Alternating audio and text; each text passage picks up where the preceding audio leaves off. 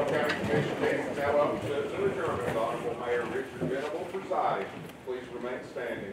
Thank you, Steve. Uh, we Welcome you all here tonight on this beautiful summer evening. Uh, Just hope hope it lasts till March. But uh, as normal, we'll start off our meeting with the invocation led by, given by Commissioner Brother Larry Crawford. Thank you, Chairman. Let's bow for prayer. Holy God, it is with grateful hearts that we pause in this time that we've come together to look to you to supply all of our needs. God, we do thank you for the wonderful help that you've given us thus far. For those that have experienced healing because of other illnesses, we give you thanks for that. I personally thank you, Lord, for all that you've done for me. Go with us now as we go into this session. May all that we do be for the betterment of our community. For it's in your son's name I pray. Amen.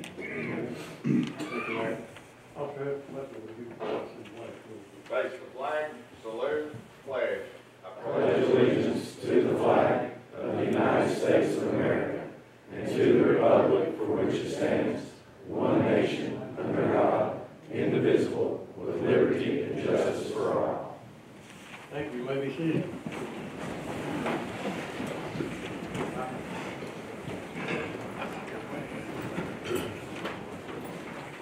Here's all of our members uh, present, they're in their uh, seats, so notified by Commissioner Hayes that he will not be able to be here tonight, so. Madam Clerk, if you're prepared, please uh, take the roll. When the door opens, please record your presence.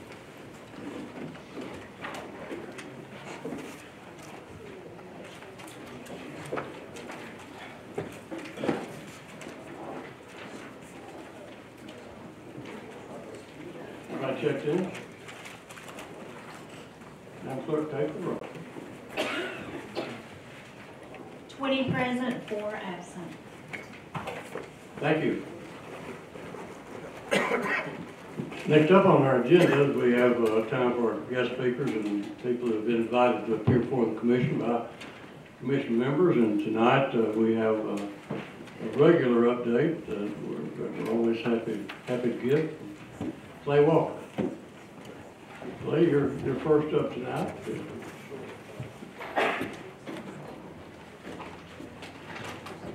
Welcome, Clay. Thanks very much. It's been, uh, since, I guess, second year Bandom League since I've let, let off. Anyway, it's good, it's good to get out front of it. Um, I hope everybody's had a chance to see the network's annual report. It's online. We didn't do any printing. We kind of, uh, more and more people just going online versions, and that's what we did this year. But, uh, we're very excited to just wrap up a, a, a challenging year, but a year that saw a lot of recovery, a lot of things getting back to normal, and us getting back to doing business the way we used to uh, since COVID had shut down so much activity. Uh, we were involved in 832 jobs being announced, total of $66 million invested. Um, We've only had one year better than that since I've been at CO Networks, that was in 2017. Uh, we had fifteen hundred jobs, uh, announced. And, uh, of course, some of the highlights from this year have been the ACT announcements, one in Kingsport, one in Bristol. Tennessee Hills Distillery headquarters, Tri-Cities Extrusion, and then with our partners in Hawkins County, uh, announcing Simcoe. Um, some of the things that don't get announced in the papers, and I, and I had the, uh, conversation with staff about it, we're looking at some companies, this becoming a norm really, who just don't want to do incentives, uh, just public backlash and things from certain, it's just not worth it for them, their, their business model. And, uh, we were involved in another three hundred fifty jobs that weren't publicized. Uh, I will say, hundred fifty of those were done on a, on a project, uh, at some point in that, do an announcement, they announced it two years ago, which was expansion at HSN, distribution facility in Piney Flats. They actually exceeded their number of projected jobs by hundred and fifty. Um, you hear a lot in the press about companies getting incentives and not meeting the threshold. You don't hear about those that blow by that threshold. And so it's always happy, we're always happy when that happens. Property development has been a big part for the past several years, it always will be. This is the part where I really say thank you to y'all. Um, Your, your willingness to invest in property, you have a history of it, it has paid off. Uh, We, and I'll talk about what's coming up later, but uh, we completed the rail site recently on Partnership Park Two. Um, We already have three really good leads on that site. And um, so that's, that was just fantastic. We identified land, the other half of that bond issue that we talked about, that we issued a couple years ago. It was not a bond issue, it was uh, expense to, to come, would be doing one on the other end of the county. And we found some good property that was owned by KDB, and we're buying it from them. Uh, And we're gonna finalize that soon. It's right by the airport, right by our offices, and lots of potential, about thirty-five acre site. Um, I also excited that we were selected for the Tennessee Site Evaluation Program. Uh, Michael Parker, my office, uh, filled out that application, and uh, that's really gonna, um, I think six communities were chosen, six counties were chosen for that program.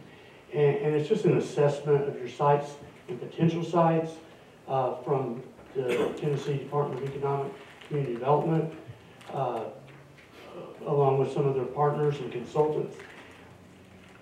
It, there's a lot of information to gain there, but most importantly, I think, it expedites you being eligible for site development grants, so we can get that property developed beyond just being just raw land.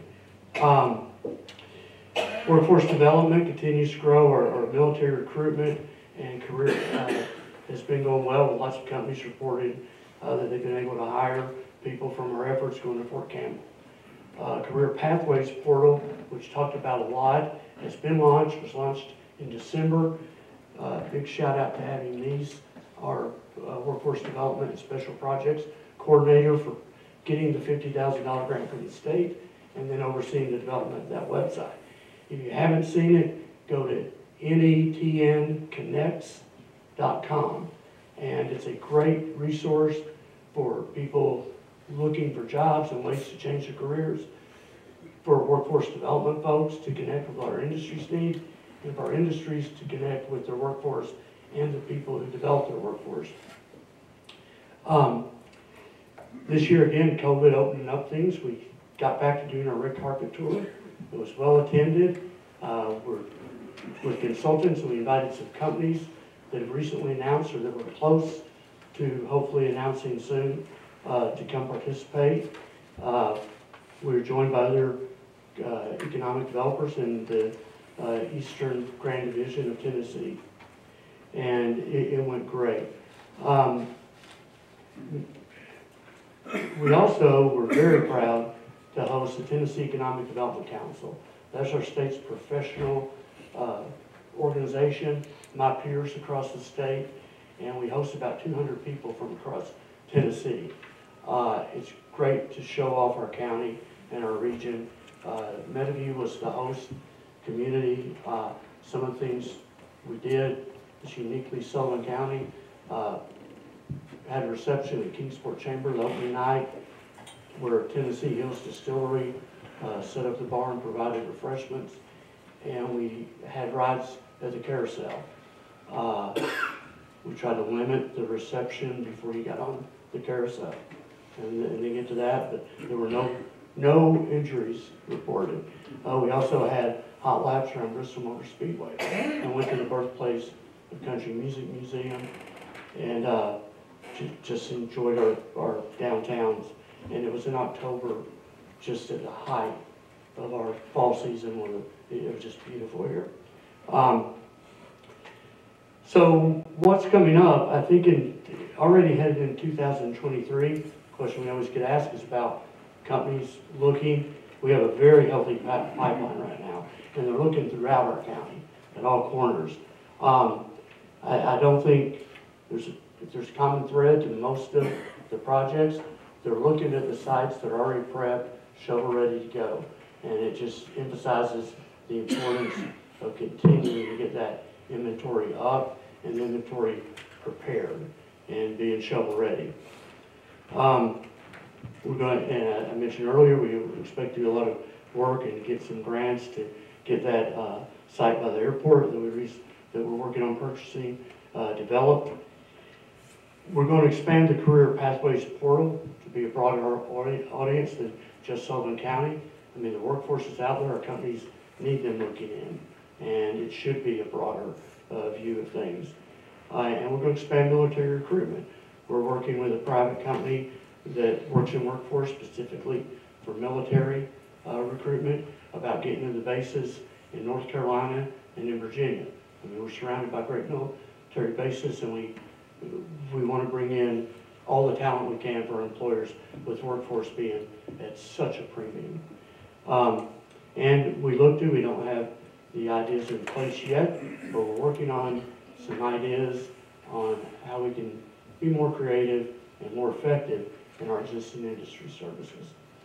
That's it in a nutshell, very quick, I know you've got a lot of business, and I always want to leave time for, for y'all to throw any questions my way. But again, thank you for your support throughout all our years, particularly last year, where we were so happy to see that such a big rebound uh, from uh, a couple of years of COVID. And again, the pipeline looks really good right now, some very exciting things. Clay, thank you, uh, very informative, uh, and I want to congratulate you on your annual report. Been seeing those things for twenty-five years about, that's the best one I've ever seen. And your presentation before the, uh, Network Board of Directors was outstanding, so appreciate the outstanding year you've had. Uh, Any members, uh, we got Dwight would like to ask a question? Dwight, you're recognized. Thank you, Mayor. Clay, on the uh, Bristol spur project, Yes, sir. you, you said it's about completed. Is the spur already in for the No. train to come in? A spur was not a part of that, it was getting the site ready to take a spur. You know, of all three projects that we're working on right now, they all three would have a different spur configuration. So, so if you put it, it's kind of like putting floors in spec buildings. There's schools of thoughts, uh, to that, but, um, if you put it in wrong, then you can eliminate the site. So there's not a spur there, it's just right up to the point of being able to put the spur there. And, and I want to point out too, uh. Keegan, if you go, if you drive out to the site and look, you won't see the rail because you see a mound of dirt. Uh, that's on the right of way, owned by Norfolk Southern, and they won't, it's just a matter of shoveling over the dirt for where the spur will come in, and they're not gonna touch that, just, just to keep it separate from the property. Uh, so if you look, say, where's the rail? It's just on the other side of that mound. It's right there, it's just not visible unless you go over and get on top of it. So basically, all you've done is lowered the grade of that site. I would say all, I wouldn't characterize it as all we've done. Uh, I mean, it was a four million dollar project and knocking down a lot of rock. And not just any site adjacent to rail is a rail site. You have to identify property where the rail has no curvature in it and where you can, to get it rail, uh, graded i- is no small feat. And I understand that, but in, back in nineteen, when this was sold to us, it was a spur. And it was called the Bristol Spur. The whole time it was, you know, I, I've heard it called that, and I've tried to correct people, It- those words never came from my mouth. It was to get a site ready to do that. It was in this chamber right here when they was trying to, to tell us that, you know, we needed to go ahead and, and do the eight million dollars to, to have this ready and, and have a spur that we could bring in for where we could load containers. And that's the way it was sold to us. Well, I, Now you're saying that, uh, I'd like to look at the record where I ever said that. I didn't say you did. Okay. I, I'm not be sure on saying that you did, but that's Okay. the way it was sold to us in here. Yeah. That there, there was gonna be spur, and we was gonna have a place to load containers in that park.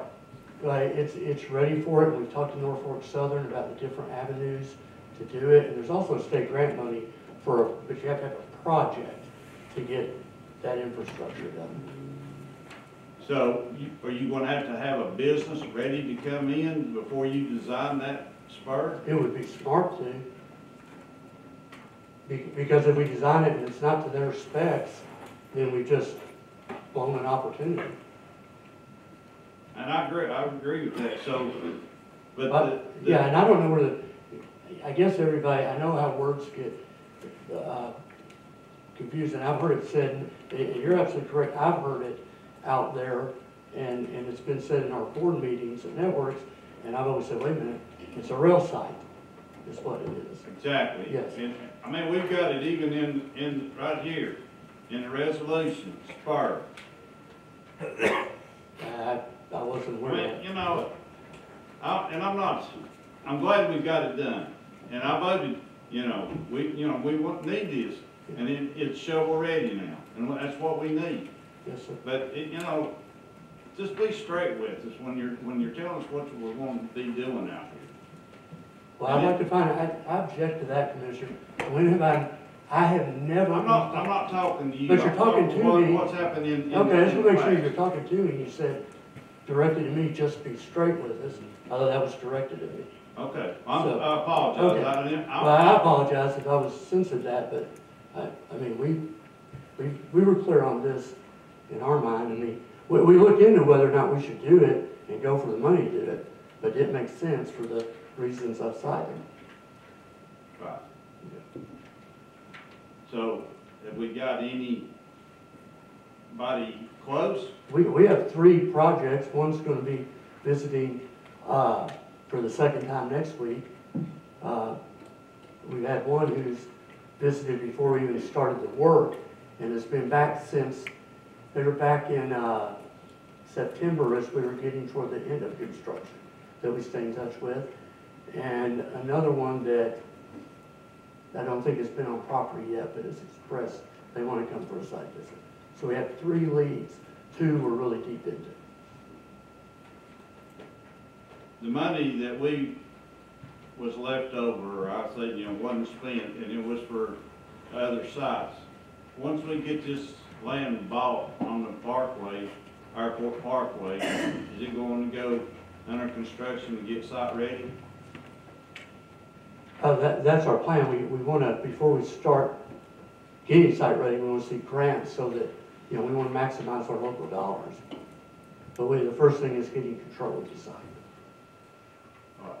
All right, thanks. You're welcome. Thank, thank you, Mr. King, appreciate that. Commissioner Akers. Thank you, Mayor. I normally wouldn't do this, but since he kept talking about it, I, I just read this resolution because I thought I might have been a sponsor on it, but I was not. I did vote for it. And that, nowhere in these two pages that you just held up does it say spur. It says, You was the wrong place. it says rail grading project. You know, so, uh, and I, the only reason why I'm saying that is I, I think we have to be fair to Clay if he's standing up here as being, uh, willing to answer the questions, uh, and everything. Um, payment of grading cost associated with it, grading cost associated, uh, and I think you are correct, uh, Commissioner King, because we had to grade it so we could say we had access to a spur that is one of the few accesses in, in, in Tennessee. Um, So the only reason why I'm, I'm I'm correcting you is because I think Clay's up here answering the questions to be legit. And then you, you entered that into evidence there, sir. I'll look it up and it Okay, I, uh, just looking back on that time, I don't have any of the resolutions or anything or what, know what they say, but I do know that we had attachments to the resolution that showed a projected spur, as you recall, Clay, for the, uh, uh, so that could be some of the misunderstanding, uh, even when preparing the resolution, but it, it was always a projected spur, and I think we had maybe six or eight spurs projected. Yeah, we had many different diagrams of how spur, multiple spurs. I believe we also showed buildings that could be, I think we showed a two hundred thousand square foot building.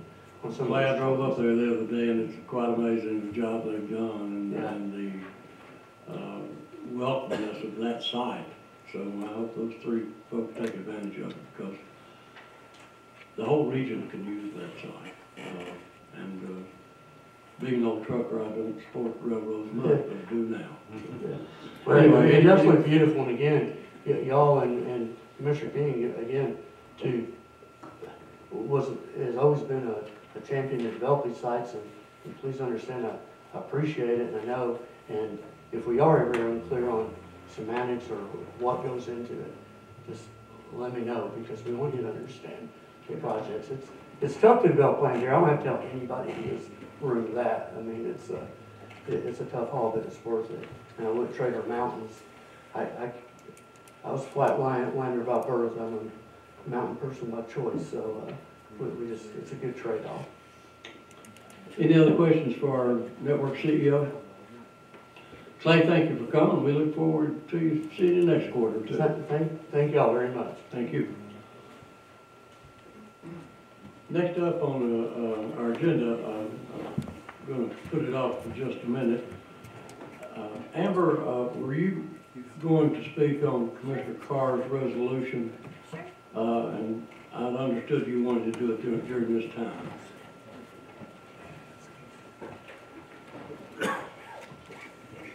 So I don't know if Bobby loaded the presentation or not. I'm sorry?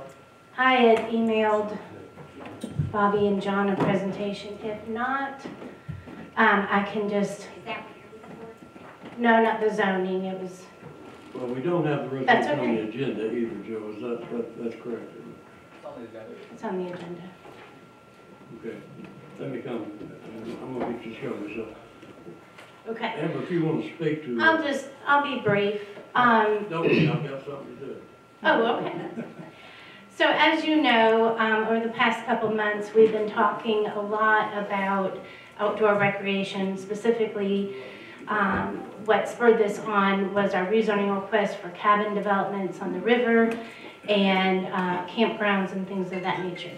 You also, uh, approved the updated zoning code to break down cabin developments from campgrounds, so we have those three separate zoning codes, uh, districts. What I have been working on is, um, you, you tasked me with jump-starting the outdoor recreational land use plan, and I have been working on that. So, um, what we've been doing is gathering all the existing facilities that we have, whether that be the seasonal commercial campgrounds, um, or the cabin developments, uh, And then we'll, we'll go down and do a complete inventory of all types of outdoor recreational facilities, whether they're state, federal, county, city, or privately owned. Um, So that's what we've been working on, it's a lot of data. And um, some of you have seen the presentation I emailed some of the commissioners as, as we have had individual conversations. Um, I met with a state employee the Tennessee Department of Environment and Conservation, we're familiar with it on the regulatory side, stormwater, septic permits, but they have a parks and recreational resource side that we haven't tapped into. Um, so I had a conversation with Jameson. Um, he is an environmentalist out of the Knoxville office, and he drove up to see me on Wednesday. Spent about an hour with him. Unfortunately, because we're not a distressed county, that is a good thing, uh, we don't get a free planning service from them, like some communities would get, but they will be with me along the way. So when we reach out to our community and have public information gathering meetings, Jameson's gonna come up and help facilitate those meetings at no cost. Um, he shared with me some additional uh, similar project plans that other counties and cities have done uh, that he really likes. So I have their plans, which will help guide to make sure we check all the boxes. And the reason why this is important is when you task me and our department to write this plan and focus on the recreation, um, you know me, I'm more of a big picture. I want to make sure what we're doing will meet our needs in the future, not just to react to some of the trends of rezoning requests that we've heard recently. Um, and meeting with Jameson, I learned this week that this plan will serve as sort of a prerequisite for future funding. So if the outcome of this plan, five, 10-year, 15-year goals, from the outcome of, of the work of this plan, let's say we identify some projects we want to do, trailheads or things of that nature, we can apply to the state or the National Park Service for funding. But if we don't have this master plan in place, we're not eligible. And that's the way things work with the MPO, transportation boards, TDOT themselves has to do a long-range plan or it won't get done. You won't be funded. So, this is good. I think of this as an opportunity and um, excitingly, now I have some help. Some of you all met Luke Mead. Luke, will you stand up? Luke Mead um, is our new community planner. So I feel a little bit less overwhelmed. Um, Luke is very bright. He started this week. I want to thank you all for uh, supporting the new position. He's a graduate of Sullivan East, Furman University, and the University of Arkansas. So, sharp young man, he's already just exceeded my expectations this week. He's just delved in. So, we are currently comparing the data from the property assessor with our files on campgrounds, seeing if there's some discrepancies, seeing if things have been added that weren't approved by the planning commission, and there are. So um, if you want to know more, I'll be glad to share the PowerPoint. Um, I would love for you all to be a part of the process, as of course the planning commission will be. Um, our next steps is to collect traffic data counts on all the roads in the county. Um, of course, we, we know we can get TDOT traffic counts, but we're fortunate to have three metropolitan transportation planning organizations in our county. Not all counties have that. Um, basically, all our roads are covered.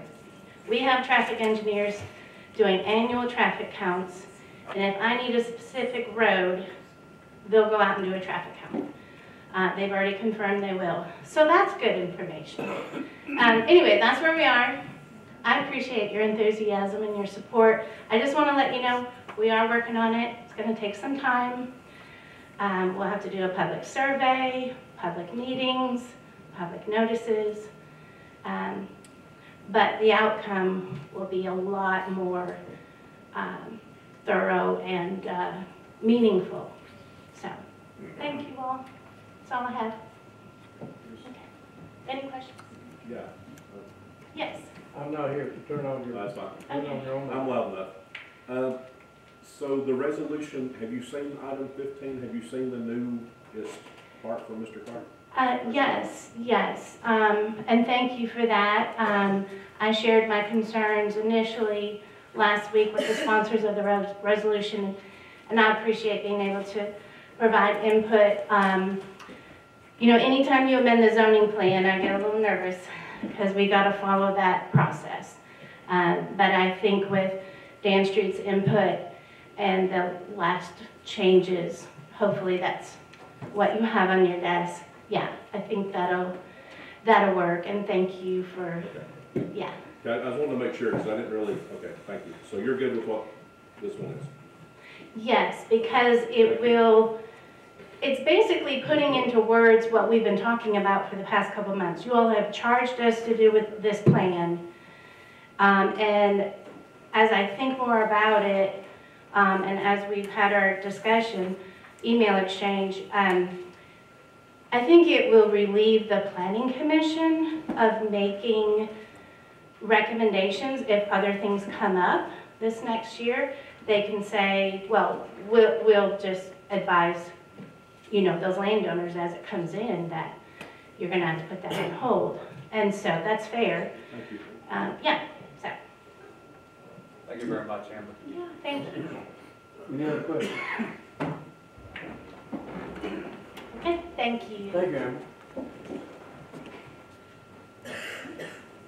I normally, when I do a proclamation, face the audience, but I thought I would face the commission tonight, uh, because of the content of the proclamation. Uh, We've had a gentleman that stood here before and looked at various commissions over the last 50 years, if you can.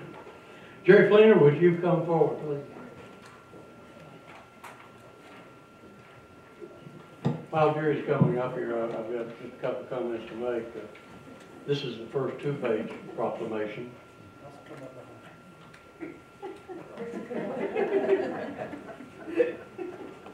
You Act like you've never been here before, Jerry. It's not working? Okay. Okay. Thank you. Uh, This is the first two-page proclamation I've ever had in uh, my time here at Sullivan County Commission, and, and that's appropriate. Uh, Jerry Fleener, uh, in my personal life, has been a- an employee, a colleague, and uh, most of all, a friend, and a friend of the Sullivan County Commission, and a friend to all those who serve Sullivan County. He's always there, so with that said, Jerry, I don't want to embarrass you, but I'm going to read this proclamation. Whereas Jerry Fleener has been an exemplary community servant of Sullivan County for more than half a century. This month marking 51 years since he joined the Avoca Volunteer Fire Department, one month after turning 18. A mere six months after the state of Tennessee lowered the legal age of service in volunteer fire departments from 21 to 18.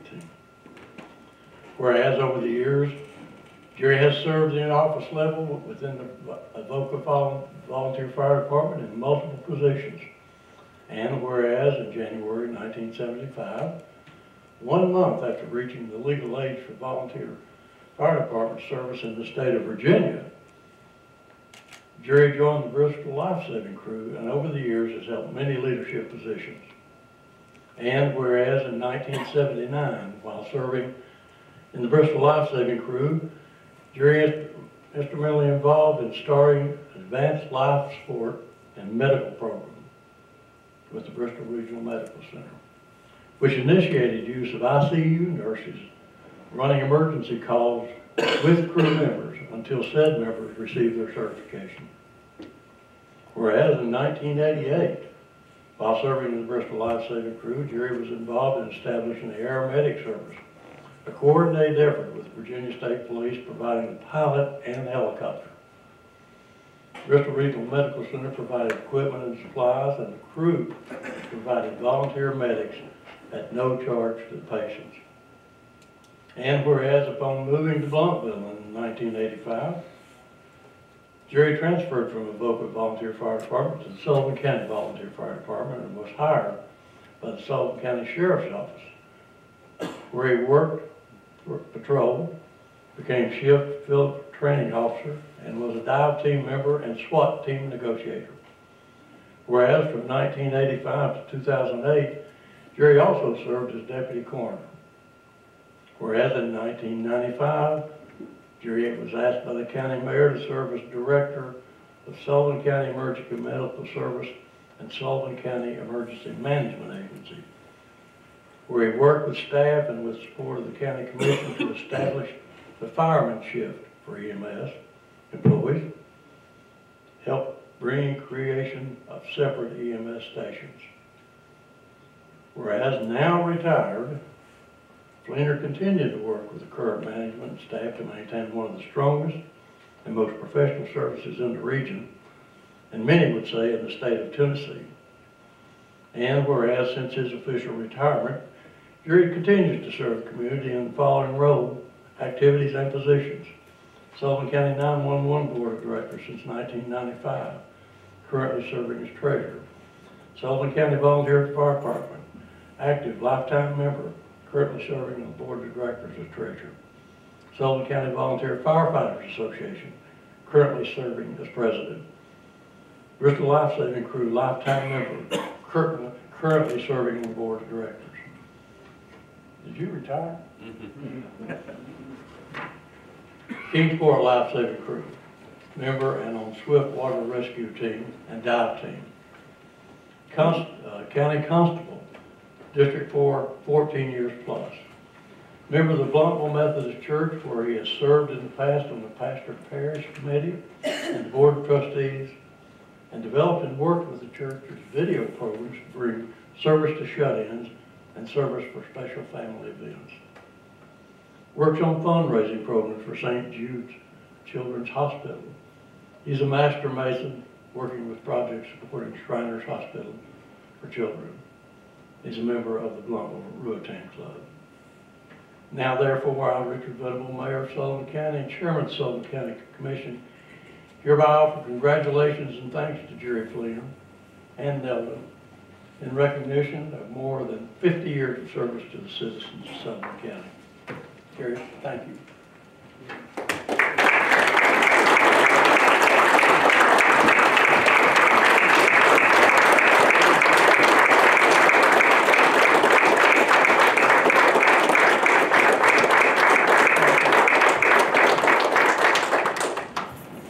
I was approached about this, and one thing I did say was, uh, this is not about me, and this was my opportunity to say that. Uh, Herschel, I know you're concerned, every time you let me talk, it takes forever, but I'll tell you, like Henry VIII told his six wives, I'm not gonna keep you long. So, uh, all of this is just something that I've been involved with, and it's not an I thing in any of this. I mean, it's the, the fire department, it sounds like I can't keep a steady job, because I went from the sheriff's department to EMS to EMA, but, uh, I was fortunate enough, the county gave, paid me for something I enjoyed doing. Uh, The sheriff's department, I had great shift, my captain, I've told people, made it enjoyable to come to work at the sheriff's department. Uh, EMS, I could not be more proud of that organization and what they're doing today and the support that you've given them for the equipment that they've got. Uh, The volunteer fire departments, the rescue squads, uh, it, it keeps, it keeps a happy home because if I get under Nelda's feet, she says, don't you need to go wash a truck or something? So I have to leave the house anyway. Uh, but just things over the fifty years, you know, you say, I don't think I've ever seen like this, something like this, and then that doesn't last, cause then you see something else. But, uh, there's been good, there's been bad. Uh, I had the pleasure or the joy or whatever you call it over my career, I've delivered four babies. But that was not me, that was the crew that was on the truck. Uh, I've lost friends in the back of the truck. Uh, I've lost friends in the services. I've lost two at Bristol on calls. Probably the best paramedic and best rescue person I know that I knew, and probably in the region, we lost over in Carter County with EMS when we were over there. He, he was just awesome. He was, he was the paramedic epitome, and he also was very involved in rescue. So you see the good, you see the bad. I think one thing I want to mention is, uh, hardly anybody, unless you're rock, you, under your rock, you couldn't get TV, you saw the football player with the CPR. And I mean, it affected the country. It, I could see it everywhere. And you gotta realize these men and women out here with EMS, with rescue, and the fire departments respond to on these calls, they deal with that every day. We saw it once on TV, and I think it affected a lot of people, probably to the good in a way. But these men and women deal with this all the time. So they will be commended and remember what they do. The sheriff's department that I was personally involved with, probably got one of the best departments in this area now. They're strong. Uh, The one thing I, I do want to mention this, to give you an idea, when uh, Officer Hinkle got killed, uh, we had the funeral, I went to the funeral. Two people I met down there were two employees from the Chicago Police Department. Their, unfortunately, their full-time job is to go to funerals all the way across the country. And when we went from the school to the cemetery, they, we were talking about all this, and they said this was the biggest crowd of outpouring of the citizens of this community for a one-officer killing. They said they had never seen such a hmm. response, such support to our law enforcement. And we would be very proud of it. I worked a little bit with Bristol and Kingsport too, and they're, your emergency services are the best you could ask for. So all I can ask is when it comes time, you know, support them, you do, the, the county commission over the years has, very strong. Uh, the Kingsport Lifesaving Crew is a regional. We've gone from Knoxville to Roanoke on special and heavy rescue and things like that. Uh, they train all the time, they've got the equipment, they're strong with the Kingsport Fire Department on that. But they have the ability and the and equipment and people, uh, to take care of the major events when they happen. So I just wanted this chance to tell you, I know a lot of you are new here and everything, but you're not oblivious to what's going on, I'm sure, but realize what we have in this county. uh, The, the- the caliber that we have in all the emergency services. And I just ask you to continue to keep supporting them. So, thank you.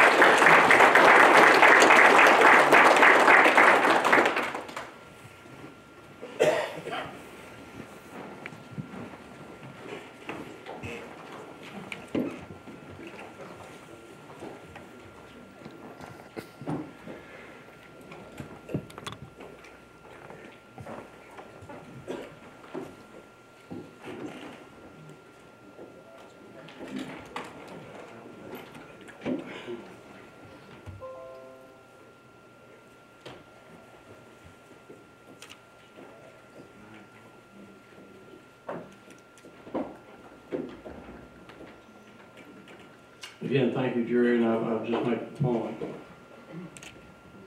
Sullivan County could not operate without professionals like Jerry.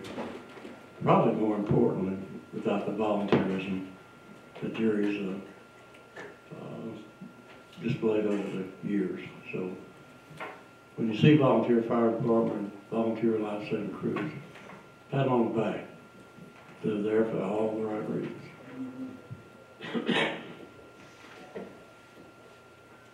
Okay, next up is um, elections, confirmations, and appointments. We have uh, two recommendations from our planning commission for uh, appointments. Sullivan County Regional Historic Zoning Commission has recommended Stephen Hobbs Jr. for an open slot on the planning commission. And he would serve in a term from January 23 to January 28. Uh, we have a motion to appoint Mr. Hobbs to the Sullivan County Historic Zoning Commission? So moved. Gardner and Crosswhite and um, Crawford, a second. Uh, Any discussion, any questions? Mr. Hobbs comes highly recommended for our Historic Zoning Commission. You've heard the motion. All those in favor signify by saying aye. Aye. Those opposed, no. Mr. Hobbs is uh, appointed unanimously to a term of 2023, 2028. Sullivan County Regional Planning Commission, we also have a nominee. Uh, This may be a a typo.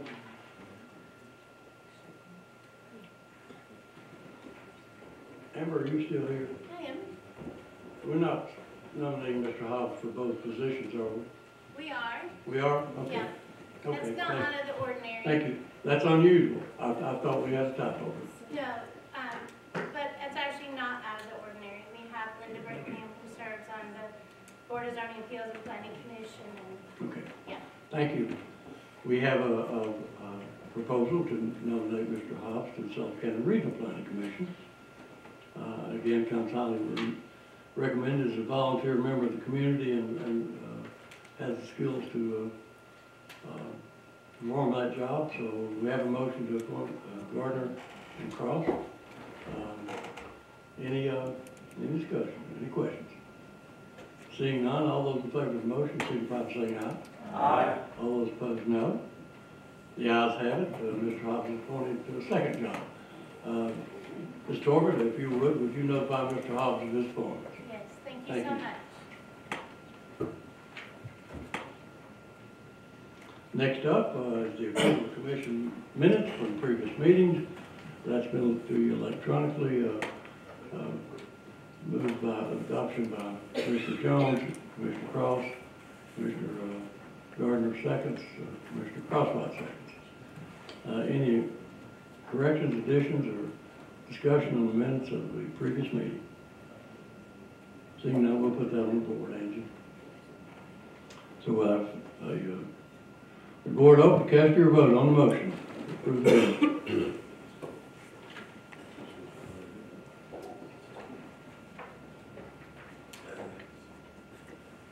Everyone voted? Mayor? Is that, was that, says something different? Okay, I didn't put those on, board, just didn't voice those, so we'll, we'll change the board, um, take just a second. Our voting system has become, become so versatile over the years that we can do things that I don't even know we can do. Only the folks that run it know, know we can do it. So, um, they can up to the minute. Okay, when the board opens, um, Oh, no, it's not your fault. I, I, I love voice votes. Um, Everyone voted. Anyone wish to change their vote? Mr. Carr, have you voted? I thought probably, you probably wanted to. Madam Clerk, take the vote. Twenty yes, four absent. Having received necessary majority, the minutes are approved as published. Next up on the uh, agenda is the approval of notary publics. Uh, So, uh, when Clerk Jacobs is ready, uh, she will share the list of your applicants for notary publics in Sullivan County. The Jacobs, you're recognized. Melinda B. Aker, Dustin Akers, Whitney O. Allison, April D. Barrett, Emma Cheyenne Brewster, Angela R. Campbell, Pamela K. Chuck, Ju- Kenneth Michael Clevenger, Scarlett Amanda Crowder, Tristan Donovan, Lauren McKinley Dunn, Donna Dye, Tommy Joe Eads Jr., Lisa O. Elliott, Catherine M. Farmer, Jennifer Lynn Fox, Abigail Lynn Freeman, Freeburn, Peyton Garrett, Mary Ann Gillen, Haley McKenna Goodman, Alicia Hale, Jessica Hensley, Thomas D. Hensley, Kimberly Dawn Hawkins, Kirsten Danielle Hoss, Penny M. Jenkins, Sarah Lorraine Kestner, Morgan Kaiser, Stacy Cohen, Amy Light Lukey, Elizabeth Milhorn, Benoit Timothy Miller, Louis A. Montes, Linda C. Morgan, Brandy C. Mullins, Rob Nyker, Katie O'Brien,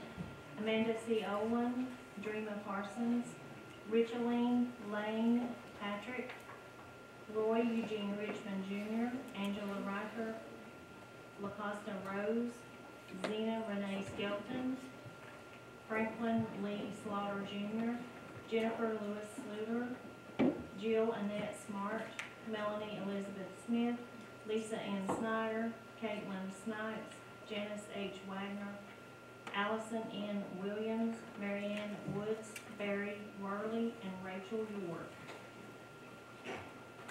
You've heard the list of names. Are- Are there any objections to unanimous approval of those applied for notary public? Do we need to read the four on the back that have the bonds, personal surety bonds, do we need to read those? They were read in a prior meeting. They were, Yes, this is their second reading. They have used personal sureties instead of, in lieu of purchasing a bond. So it's just uh, customary that they go for a second reading, but it, they don't have to be read, actually. well, I move to approve, uh, all of them. Have a vote, uh, Commissioner Jones to approve as presented. Second. Second. Uh, any further discussion? And I would remind the commissioners that you may, for whatever reason that you choose, uh, lump anyone off have a question, and we'll carry them forward next month, so that's all the question. Uh, seeing no discussion, we're ready to vote on the appointment of, uh, notary public for Sullivan County. The board open, cast your vote.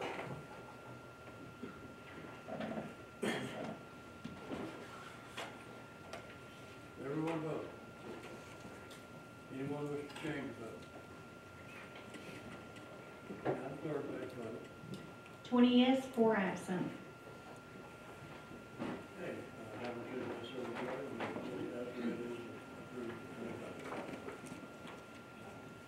Next up uh, on our agenda is public comment. And before we start that, I know announcement I was going to make the. meeting.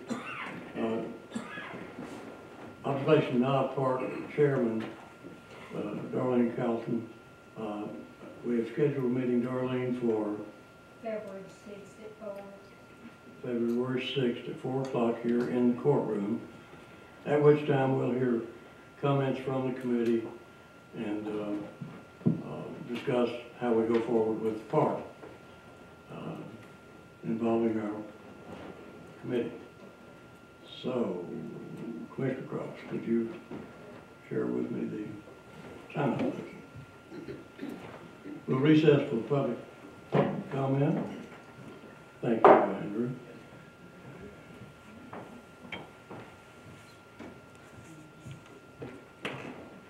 We have uh, one person uh, signed up for public comment in regular session, that's Mr. Rodney, Paget. Um, Rodney, you're, you're recognized. And even though we have your name and address, I'll ask you to give it again. Hold that. Um, my name is Rodney eleven twenty-five Goutman Shoals Road, um, Walton, Tennessee.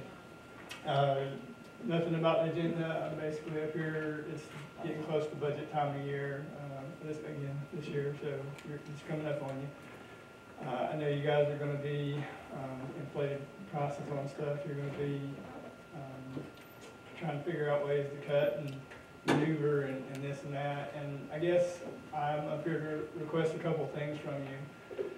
Um, number one, as you know, I'm often here talking about school issues, because that's the thing that I prioritize. Um, I would like for you to take the time to go back and listen to last, or this previous school board meeting, the work session in particular. Um, I think that there's some really valuable information on there that doesn't always get out. Um, there was a good article in the newspaper, um, recently about it too, about all the different projects that they were trying to get done with their ESSER money and the struggles that they're running into with getting bidders and, um, being sometimes almost hundred percent over the estimates and, and whatnot. So, number one is I would remind you that a few years ago, we kind of started step one of what was hopefully going to be a multiple step process of getting our schools updated.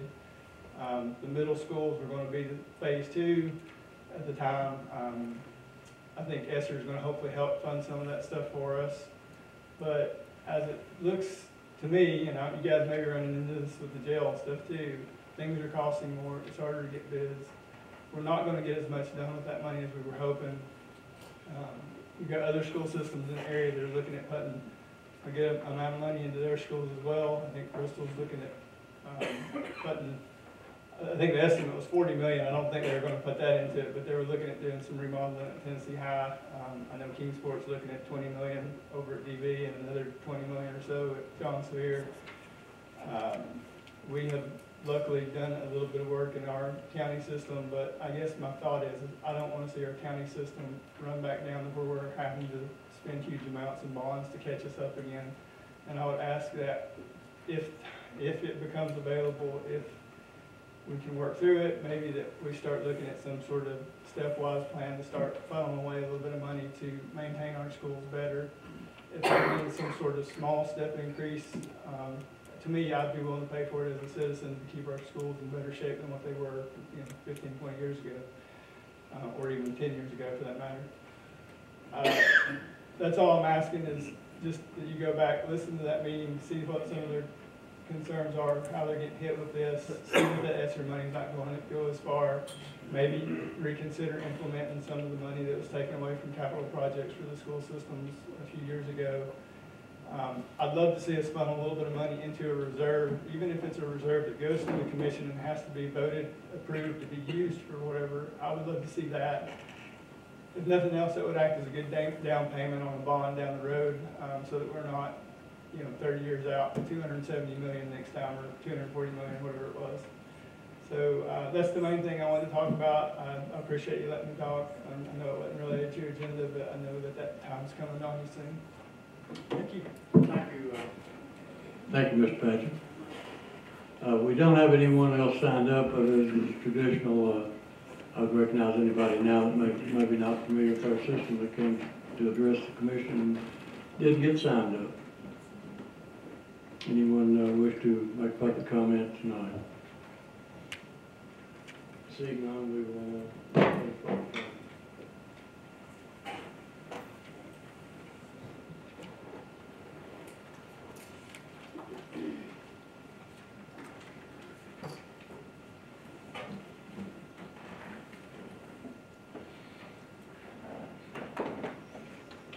Yeah, I noticed, uh, we have, uh, resolution number one on, uh, the consent calendar, which I thought was a great idea. But don't think we can do that. So, we have a motion by Mr. Calhoun, second by Commissioner Gardner, on item number one on tonight's resolution calendar, calendar, which is, uh, uh, to recess for zoning planning. Um, Any discussion? Yeah, on the board, Andrew. Go ahead. The board hopes to cast, your vote on item number one, resolution for planning and zoning.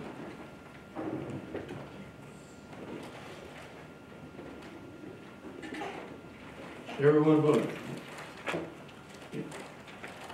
Anyone wish to change your vote? How many you have a no out there with, I'm for cause. I'm sorry? I'm abstaining for cause. Sorry, never mind, never mind, never mind, sorry. No, no, it, it- it's not a problem. There we go, sorry about that. Not a problem. That- That was just unusual, and I didn't mean to call you out. Uh, anybody, anybody wish to change your vote? Madam Clerk, take the vote. Twenty yes, four absent. Item number one is adopted, and we will recess for public hearing for planning and zoning. Ms. Torbett, you're recognized in what? Thank you so much. Um, I passed out your zoning packet last Thursday at the work session, and Chris will have it up on the screen. I know you have a lot on your desk, but we do have three individual rezoning requests to present tonight. The first slide is just a summary to let you know that case A went to the Kingsport Regional Planning Commission. The second case went to our Sullivan County Planning Commission, and the third case also went to Kingsport Planning Commission. So I will um, present to you, in your packet, you have the full staff reports from the city planners. They're very thorough.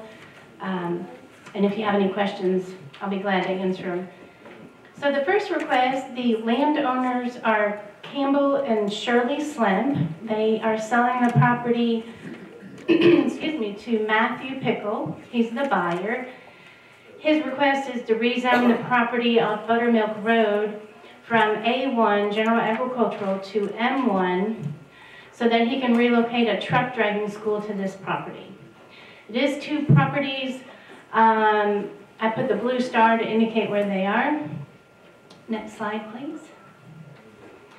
This is a zoomed out version of a broader view of our zoning map. As you can see, everything is still zoned A1.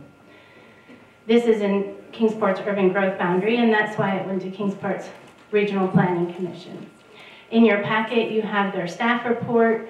There was neighborhood opposition, and the petition and pictures submitted from one of the representatives of the neighborhood is also included in your packet.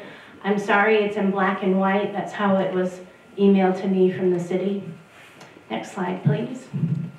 Here are pictures of the site that I took. It's my understanding that when Interstate 81 was constructed, this site was used as an overflow of fill material. Uh, that information came from an adjacent landowner who's lived there um, for many, many decades. Next slide, please.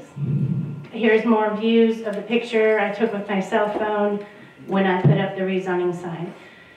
As you can see, it does front along, or at least has, you know, is adjacent to the interstate right-of-way. The fence row, I believe, is the right-of-way boundary. However, this is not at an interchange. It, you have to go through several rural roads to get to the site. Next slide, please. That is the land use plan of Sullivan County. I don't think anything would change if we were to update the plan because as you can see from the zoning map and the existing land use and aerial images, it's still all rural and residential. Next slide. Okay, thank you. You can go back, I'm sorry. That's all I have. The Kingsport city staff recommended against this request, and their planning commission also is sending you a unanimous dissent, an un, excuse me, an unfavorable recommendation. So. Any questions on the first case?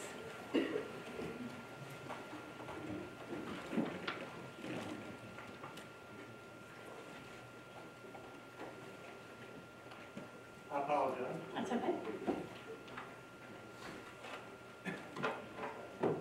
Any questions?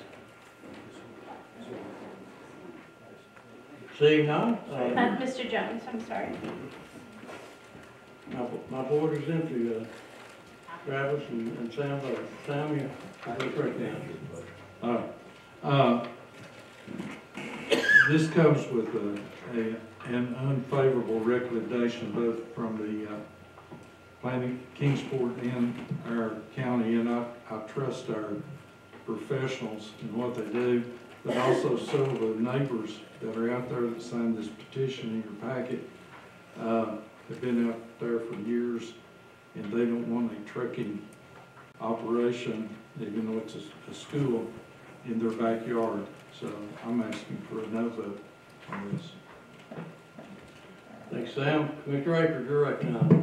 Thank you, I really was just gonna ask a question, because I felt bad nobody was. Uh, Where's the closest M one zoning to this area? Because it looks like it's a pretty dead straight spot zoning situation, It is, um, which is pretty illegal, oh yeah.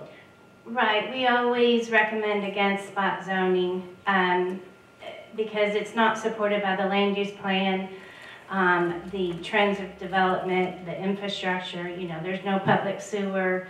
Um, so it, yes, obviously you could see it from the interstate, but to get there, you have to go through, either way, whether you come off Shipley Ferry or Buttermilk, um, depending on which side of the exit you come from, you're going through a lot of farms and neighborhoods to get there. So, um, there, we could not come up with any reason to support it.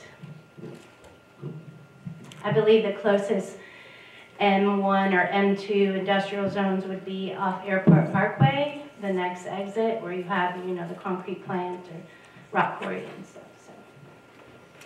Okay, any further questions for, uh, Ms. Torbett?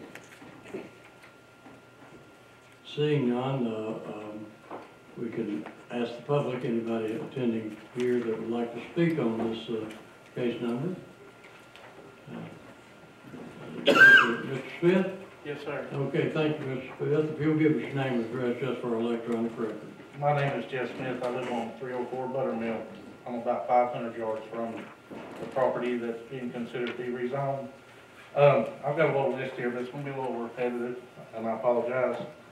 I do have the petition here. If you guys need it, I make copies because I know it's gonna come to you guys. Um, also, I have the colored pictures if you guys need it. If you look, there's two or three 90-degree turns that semi trucks can't even get through, so. um, not just for our benefit, but for the whole community, and there's nobody that I went close to that property that's for this, there's no exit, and again, I'm gonna be repetitive, I apologize. Um, I wrote down the road's not suitable for the semi trucks, obviously, even if you go underneath the new bridge right there, which has no exit, you have to go to Rocky Branch, and it goes through KOA, up the hill, and then they'd have to come down the hill where the water tower is at the Westview exit at the airport exit. I've lived down that road all my life and farmed there, so, uh, as again, uh, multiple hazard signs within fifteen hundred feet of the request, uh, no exit at the interstate, devalued property and homes around. Uh, all property owners locally opposed. Again, I have a petition signed, uh, change lifestyle of the farm area residents. Um, pictures provided, you guys already got that, but, uh, and again, y'all already talked about the Kingsport already turning down the rezone request and sent recommendation, but, um, overall, I farm the three hundred acres, uh, all my life, on that property down to Patrick Henry Lake. And the actual property that is owned was my grandfather's, I farmed that too, and, um, I just don't feel this property is suited for that business rezoning. I just wanted to represent the people that's around that's not here. Thank you. Anybody have any questions? Sir, if you would like those photos to become part of the minutes, the, the official record, you will have to see that I get a copy of them. Yes, ma'am, you can. I'll- I'll take care of it. Thank you. Yeah. I'll scan it and get it for There's the, do you that. have? And there's the petition. I think there was also the doctor that lives across from the actual property sent an email request also opposing it. Uh, Dr. Drumright, Sherry, and uh, Curtis Drumright. So, Thank you for your time. Thank you, Mr. Smith. Let me, uh, let me note that, uh, the exhibits that Mr. Smith brought will be entered into the clerk's record, but that they were not shared with the commission. Uh, I think that's important as we go back in, in past. Okay, the, um, recommendation from the planning commission comes to you in a positive manner. When the board opens, uh, cast, cast your vote for case number one. It should be cast your vote on case number one. Everyone voted. Anyone wish to change your vote? Now clerk, take the vote. Twenty no, four absent. Have failed to receive the necessary majority, uh, case number one is rejected. Ms. Corbin, case number two. Okay. Uh, and just to clarify, everything he handed me is in your packet, but it's in black and white. So, um, I think the only difference is this is in color. So it might scan better. But anyway, it looks to be the same that was presented at the Kingsport Planning Commission. Um, okay, if you'll turn with me, um, or just follow along, uh, the next request is from Mr. Patel. He owns property at 3011 Bloomingdale Road, Kingsport. This is in Sullivan County's planned growth area, so went to our planning commission last month. His request is to rezone the lot from R1 Single Family Residential to B3. The purpose of the request is to rezone it for a convenience store. In your packet, you have my um, maps, of course, also on the screen and the summary. We are recommending in favor of this request. There was no opposition, and the Planning Commission also unanimously uh, sends a favorable recommendation to you. As you can see on the slide, this would be an extension of the existing B3 district. If you're familiar with Bloomingdale Road, um, you have pockets of commercial, uh, pockets of residential, a- and other uses. It is a, you know, older established neighborhood of our county, uh, very dense. This site always had a store on it.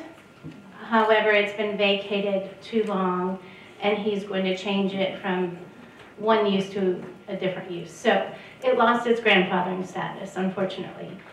Um, so the site, the building is still there. He's been renovating it. Um, and so we hope that if it gets rezoned, it'll be an improvement to the neighborhood. They won't have a, you know, a, a vacant storefront. Further explanation, any questions from Ms. Corbin? Seeing none, we're ready to vote. Comes to you in a positive manner. The board opens, cast your vote on case number two.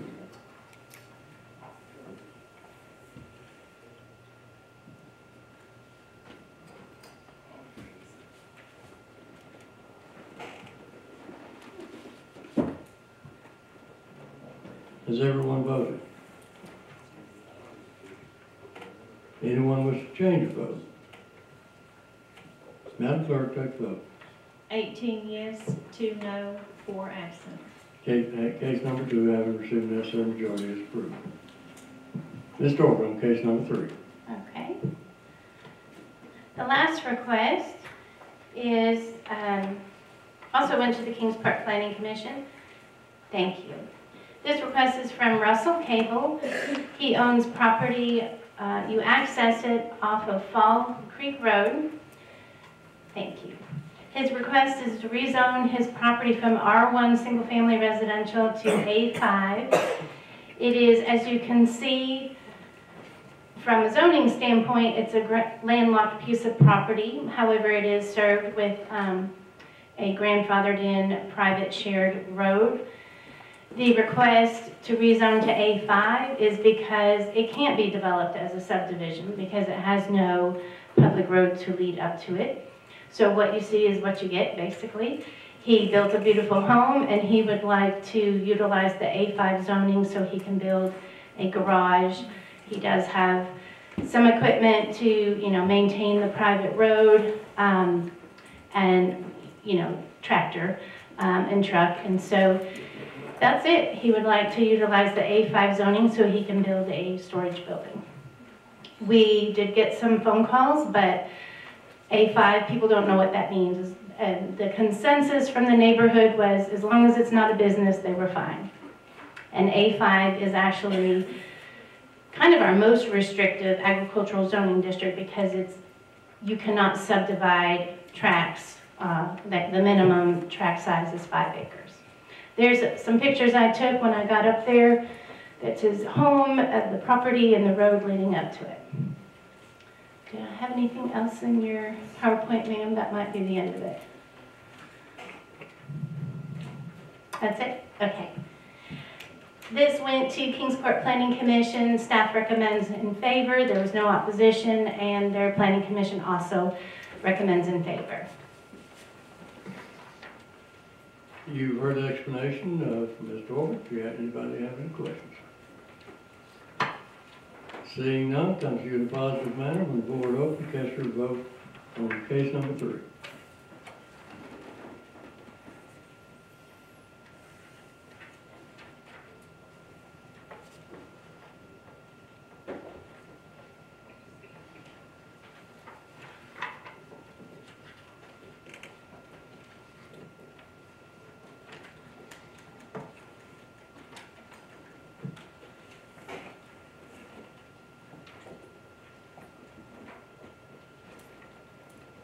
Everyone voted? Anyone wish to change their vote? Madam Clerk, take the vote. Twenty yes, four absent. Necessary majority, case number three is adopted and approved. Ms. Torbett, do you have any, uh, anything additional? That's all I have for zoning. If I may, I did put a poster on your desk on behalf of the Historic Zoning Commission. The Reece Museum at ETSU has an exhibit of the Old Deery Inn, our very own. So um, they are all, some of the, the pieces are borrowed from the Deery Inn, some ETSU already had, and, and then all their research. So I'm very proud to say that we we made the Reece Museum. It's a temporary exhibit and it's free. So if you want to share that poster with your business or fin- friends and family, I would appreciate it. Thank you. Thank you. Um, Next up, we have the consent agenda. Mr. Iverson, you're recognized. Yes, sir, Mayor, I'd like to remove number seven from the consent agenda. Without objection, item number seven is bumped from the consent agenda, uh, and we will pass consent. We will consider the consent agenda without number seven and hear it in its regular place on tonight's docket. Uh, Mr. Cross, you're recognized. Thank you, Mr. Chairman. Um, considering most of the consent agenda are grants being accepted, I would move that the entire consent agenda, um, all those in favor be co-sponsors to those resolutions. Without objection. Uh, Thank you, Mr. Cross. So Without objection, all those voting in the affirmative will be uh, listed as co-sponsors on the consent agenda, and I would remind you that any negative vote would put all the consent agenda items back on the regular calendar. So when the board opens, Uh, the, uh, motion to adopt the consent agenda. So moved. Was that Commissioner Crawford, Commissioner Cross? Um, any, any discussion? Seeing none, when the board opens, to cast your vote on the consent agenda minus item number seven.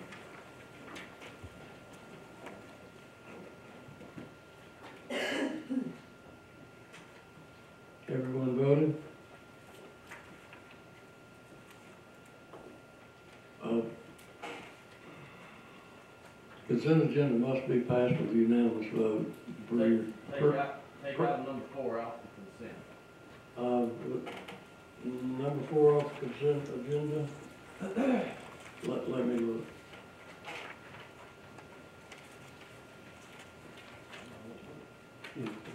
Without objection, number four, item number four will be heard on the regular agenda.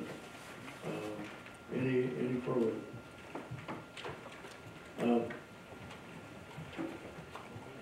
Madam Clerk, take the vote. Nineteen yes, five absent. I received necessary majority to consent agenda as amended is adopted. Now, uh, I need to recognize uh, Commissioner Carr. uh, You, you have some guests here to speak on a resolution. Number fourteen, move on to the front, come out of order. So that's, uh, I believe your sponsor, item number fifteen, Joe. Yeah, uh, Amber already spoke about it. I'm sorry, It's fourteen, Mayor. Fourteen. For the tenth. fourteen? Go to the Okay. I've got the right number. I've, I've got a different set of papers than you all have tonight, so I'm gonna, I'm gonna struggle a little bit. So without objection, Commissioner Carr requested item fourteen be rolled to the, to the head of the agenda. Now, if, uh, if you will bear with me.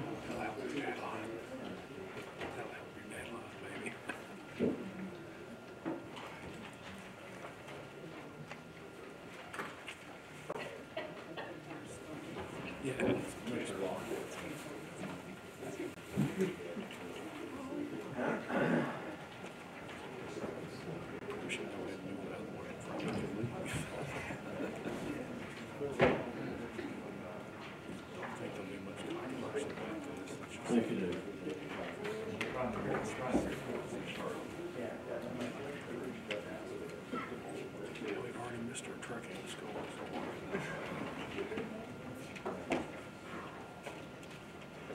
Uh, pardon me, Mr. Chair, my resolution is number fifteen, uh, Hunter's is number fourteen. Are they together? No, not at all. No, no. We're done with the car. He's on, he's on the. Yeah.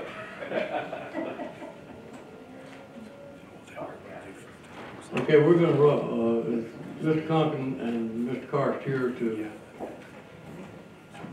testify on behalf of, of your resolution, Joe. No, my, No, You're, okay, okay, we're, we're gonna roll fourteen to the head of the calendar.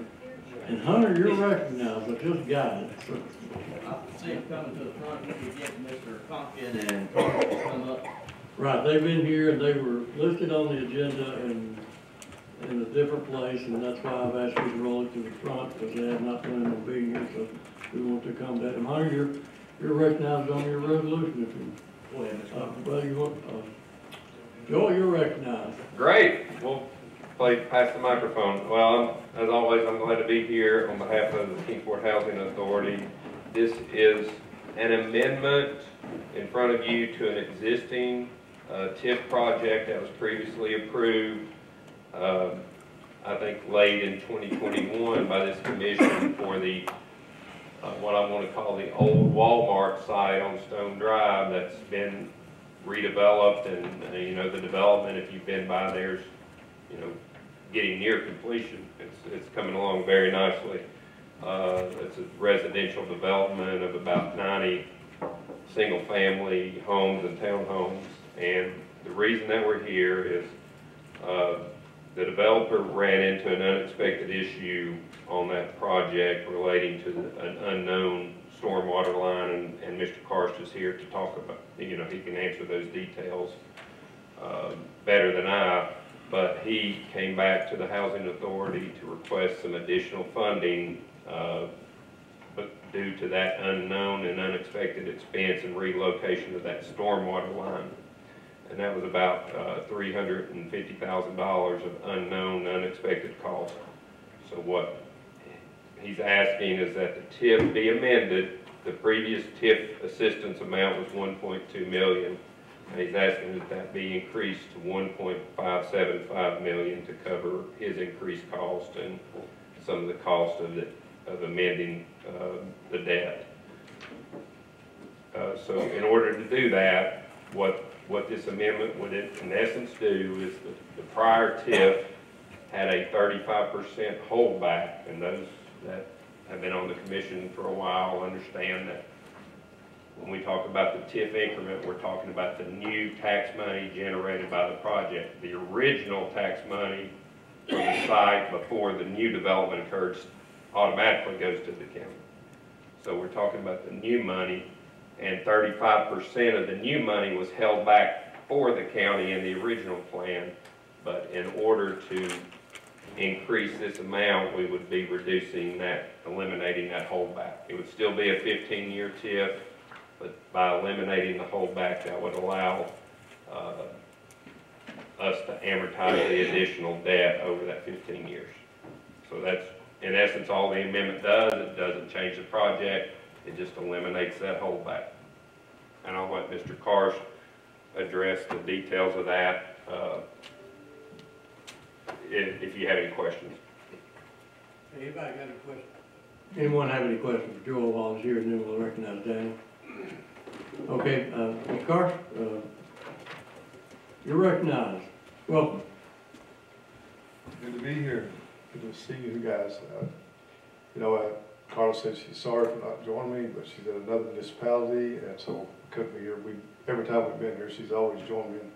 and That sure seems to help me, maybe you all too. But I just wanted to say that, uh, you know, when this first thing started, some of us kind of need to remember just a real brief thing.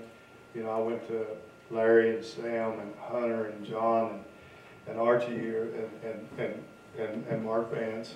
Uh, and I want to tell you that it was kind of hard to get this because this was a little different, but I didn't know maybe if, uh, I'd sent, I've been in Southwest Virginia today and I've not been in commu, a couple places not. It was just, we'd sent something, I think, up here to Jay, uh, J.H. Osborne. Did he get that? Is he here?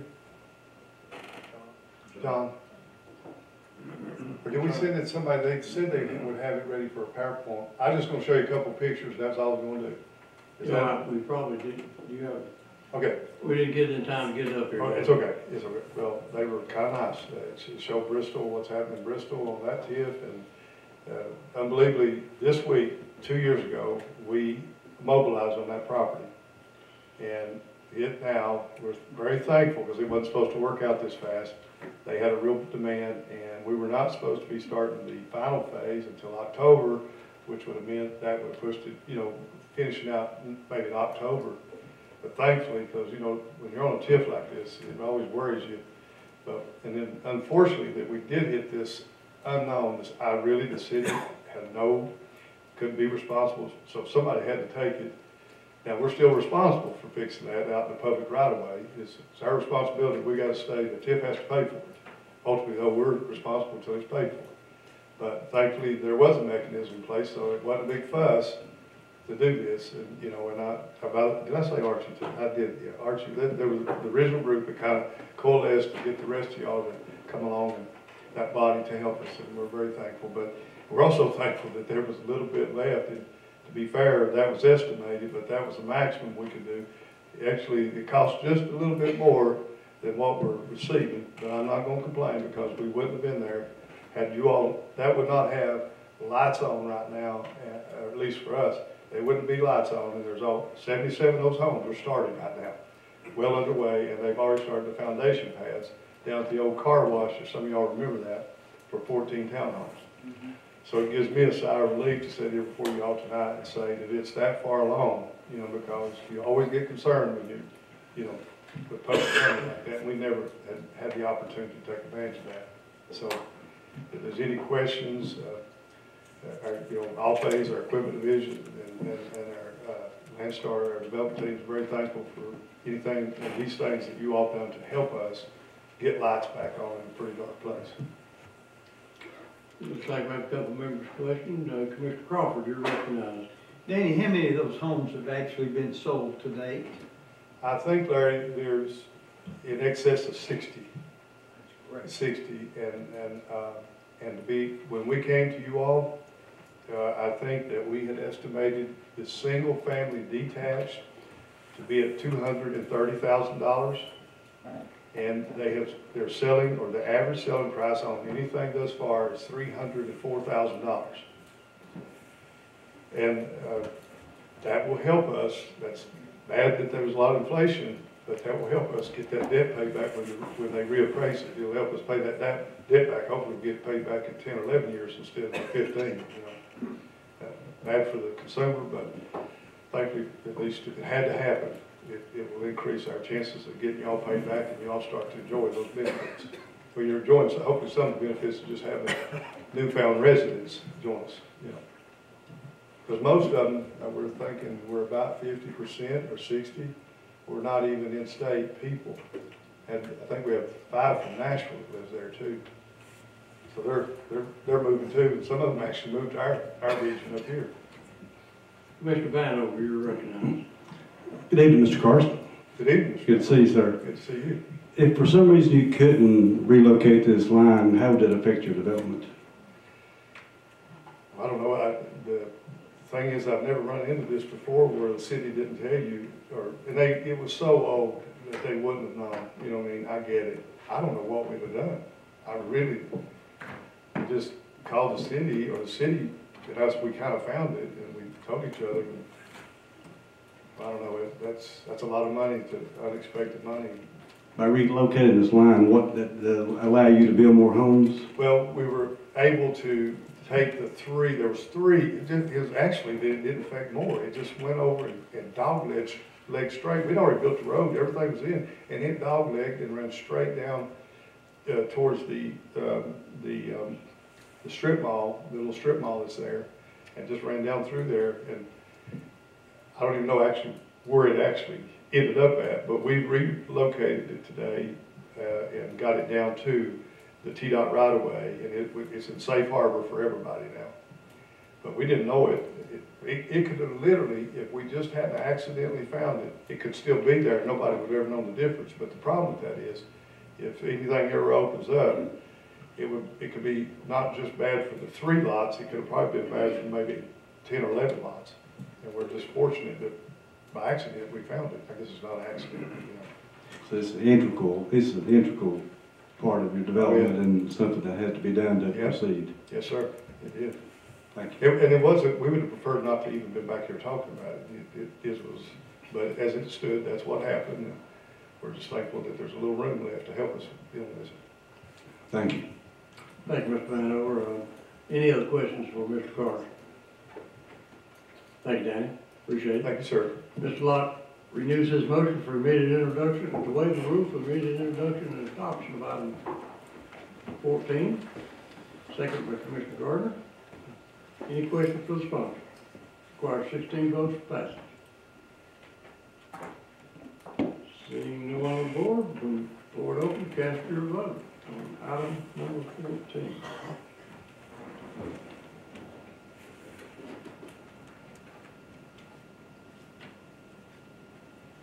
Everyone voted? Anyone wish to change your vote? Madam Clerk, take the vote. Twenty yes, four absent. There received the necessary majority. Item fourteen is adopted. And now back to our resol, regular resolution agenda.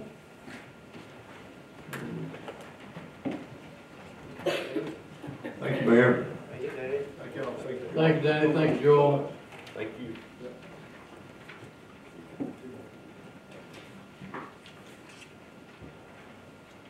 This commission has no old business before it. You keep up your work, and I congratulate you for it. So first up on the new business, two was on consent, three was on consent. four, five, We got, we got to do four. I'm sorry, we got, we- we- I was just looking to see which one Hunter wanted to bump. Item number four, program. And that is sponsored by Commissioner Gardner and Commissioner Cotton. Mr. Cotton, you're, you're recognized on item number four. Mr. Gardner, you're recognized. Thank you, Mayor. This property was approved to be sold by the Delinquent Tax Committee. The resolution is to sell uh, county-owned delinquent property tax in the 11th Civil District for the amount of $5,000. The amount of uh, money owed on the property is 11,300. Like I say, the Delinquent Tax Committee approved the uh, sale for $5,000. If there's no uh, further questions, I renew my motion for passage of item number four. Any questions for the sponsor on item number four?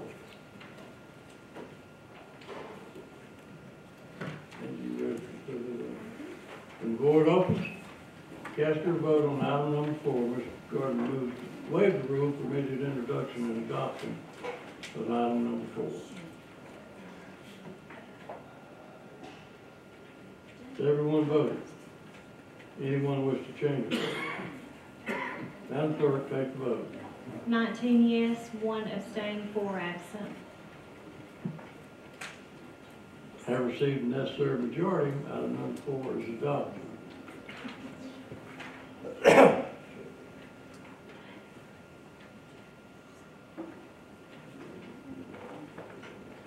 We really didn't do that right, but we're where we are. That, that should have been heard in regular order after, after item number two. So, uh, back to the regular agenda. I've got more paper up here now for some reason. huh?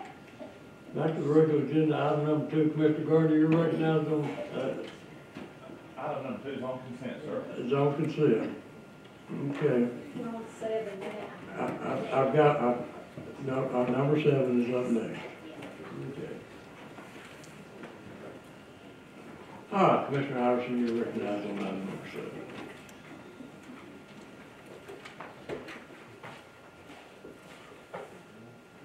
Uh, yes, sir, I know it's, uh, Mr. Stidham's resolution, but I actually have an Let me go back. I'm sorry. Let let me recognize Mr. Stidham, who moves, moves adoption of item number seven. Thank you, Mr. Chairman. This resolution is to authorize temporary funding not to exceed thirty thousand dollars to offset completion costs of the Veterans Memorial at the Sullivan County Military Park. Uh, Mr. Johnson came and gave us some details on this, uh, during the work session. He's also here tonight if anyone has any more questions about that. And, uh, we'll be requesting waiver of rules. Okay, you've heard the explanations, second by Commissioner Crosswhite. The board's open, and uh, Commissioner Iverson, is time to recognize you. Thank you, Mayor. Uh, I just have a motion to amend. I actually handed out a sheet to everyone. It's a, uh, printout of this. I should have put item seven at the top. I apologize for that. What this motion does is instead of making it a thirty thousand dollar loan, it makes it a thirty thousand dollar one-time authorization just to give them not anything to pay back. Everything that I've highlighted on the sheet of paper that I handed out is just eliminating those words. It makes it much cleaner. It takes a lot of things out, but, uh, my motion is that. Have you filed that with the clerk, uh, Mark? That's correct, yes. Okay. You've heard the amendment number one to item number seven, uh, seconded by, well, let me ask the sponsor first, you accept that, uh, amendment, uh, Yes, Mr. Chairman, we'll accept that amendment. Thank you. Uh, the- uh, Amendment number one is accepted, so we're back on, on item number seven. Uh, Any discussion? Mr. Stidham renews his motion for immediate introduction and adoption of item number seven. I push the button, we, but, why? I don't have anything over here. We unplugged it. We unplugged, they unplugged it. They unplugged you? Yeah. We've been trying to get that done for years.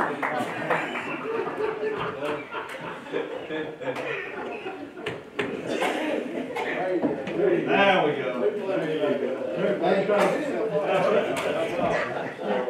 I did, there you go, there you Don't touch it, don't I didn't it. touch it. I didn't have a light over here, I, I, I wasn't kidding, I didn't have a light. Hey, you're good, you're good. But anyway, where's the money gonna come from for this?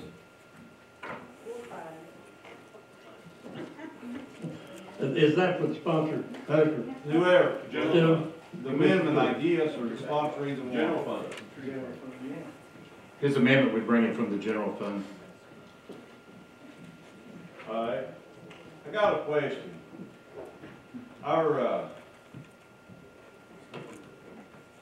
we've got, in the house over here, we've got a veterans, um,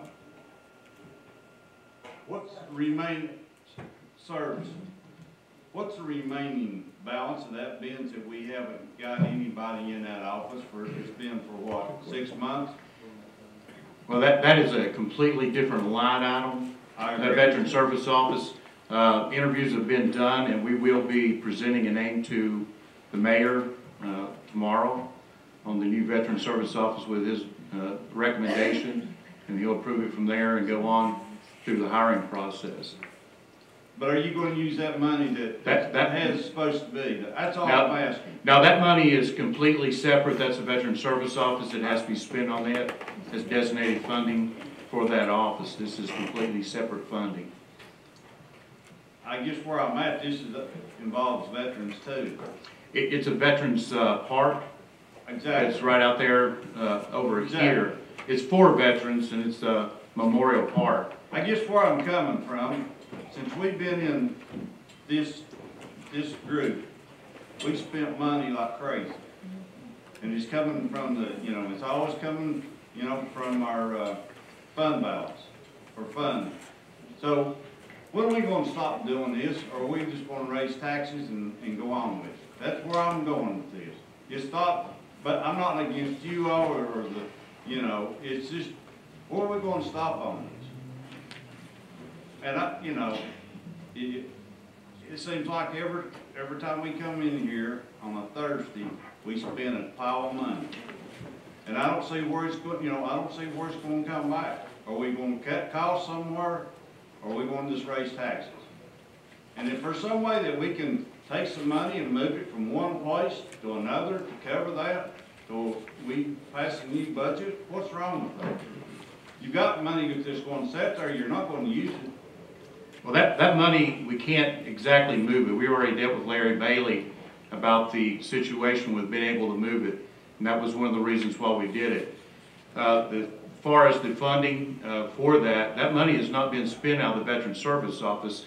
That money, it goes back into the general fund that's not spent. Exactly. I couldn't tell you exactly what that amount was, uh, after Mr. Fink left on the salary, what's remaining there. But, uh, that money will be going back into the general fund, whether you say we move it or it, uh, that money, until we hire someone to come in, is gonna go back into the general fund. So I couldn't tell you exactly. That- That's what per I'm dollar saying, on it. instead of getting new money to cover this, why can't we use that money? Well, that would be a Larry Bailey question, uh, on that. Larry, is that, is that relevant? Can we do that? Excuse me, there's money in the corporation, you know, it's not being, not earmarked, it has to be spent, you know, just what this body decides. Or it's not a funded federal fund or something like that, this earmarked, it's just going out fund balance. Yes, this body could make this adjustment. If there's not funding there. Fund the operation that's set up for the remainder of the year, then they could do so. That's all I'm asking. And then next July one, when you get your new budget, your money will be back there. All I'm doing is, you know, no new money, that's all I'm asking. Well, that, that money's still gonna be there, uh, Dwight, it's, it's not going anywhere, it's not been spent, it's gotta go back in the general fund. As far as push pulling it, I couldn't tell you if we have enough to cover thirty thousand dollars. Uh, probably should be pretty close to that. So it's basically, even approving the new money, that money is gonna go right back into the pot. We will have a new veteran service officer coming in in February. That is the plan, to get them to training and everything, and that's already covered in the budget. But I couldn't tell you if it's exactly thirty thousand dollars, but that's, it's, the money is there. regardless if you say it's new money or not, that money is going back into the pot. I understand what you're saying, but to move it from one line item to that, that's, uh, that's Larry's department on that, so. But we have to have funding from February, uh, to the end of June for the new veteran service. I don't, I don't wanna mess with that. I just, what I'm asking is the money that hasn't been spent. The money that has been spent will be going back into the general fund. It doesn't roll over in that account. Exactly, and that's what I'm saying. Instead of us taking new money out of the general fund, why can't we use that money to do it? And, and- actually, in, in sense, why it is doing that. That money will go back in in June, at the end of June, July first, that money's back into the general fund. But we can't, you know, saying a push, it's basically a push-pull either way.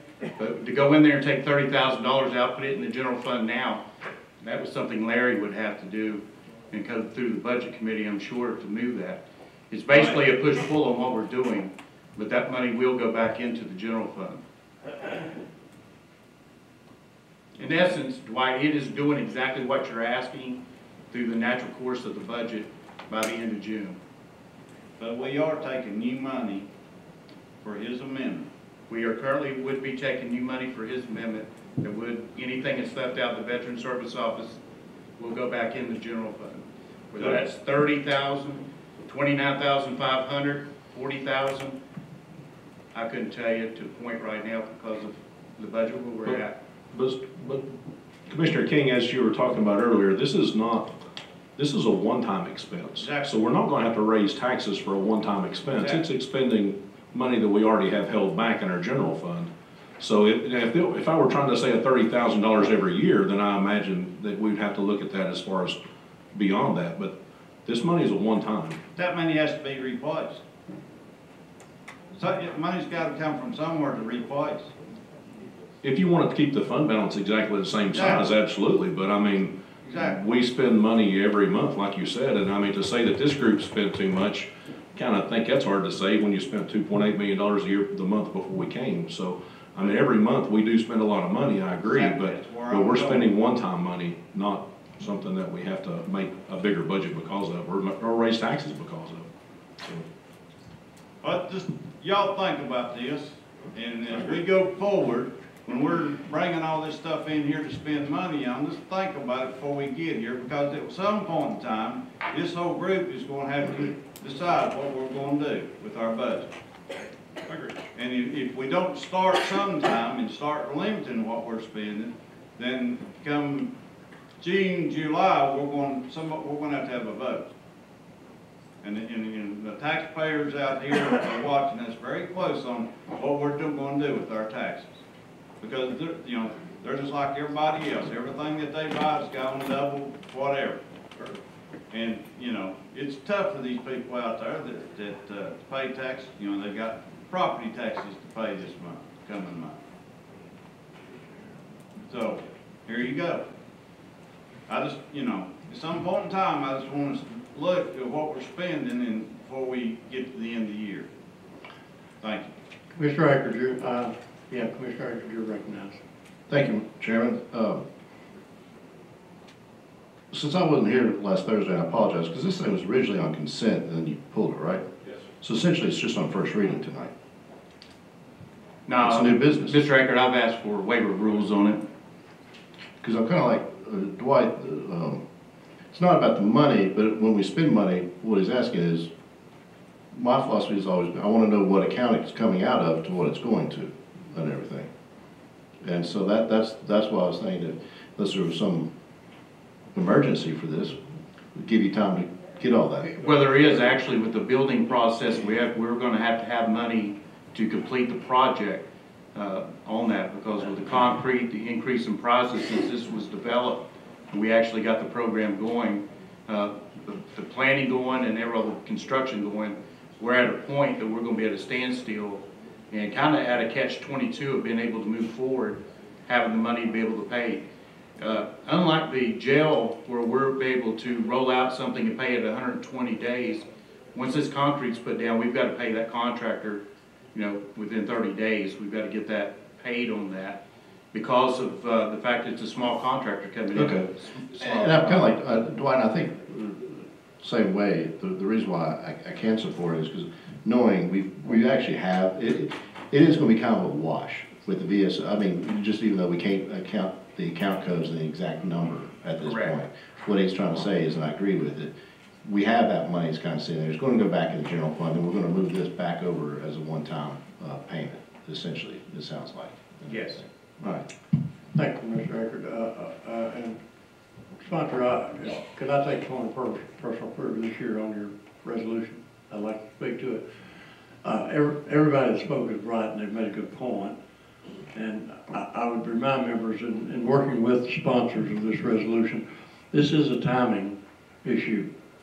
And, uh, we don't know what's gonna be left in that personal services account at our Veterans Affairs Office, uh, because you're gonna bring me a recommendation tomorrow uh, to hire somebody, so that payroll's gonna start back up. I don't think since Mr. Fick has been gone, and tomorrow is gonna accumulate thirty thousand dollars. So there will be, there, and the semantics, Watch, you make a good point, and I'm gonna make a suggestion in, in the meeting, uh, toward what, what your point was, but it is a timing issue that we have payment due for concrete that may be donated in the future, it's been committed to be donated, but you need it now. Correct. Okay, any, any further discussion on that? Mr. Stidham renews his motion for the immediate introduction and adoption of. Waiver of I'm rules. sorry. Like I said, I got so much paper. Everyone voting in affirmative to be added on as a co-sponsor? Uh, Without objection. Any further discussion? Seeing none, when the board open, cast your vote.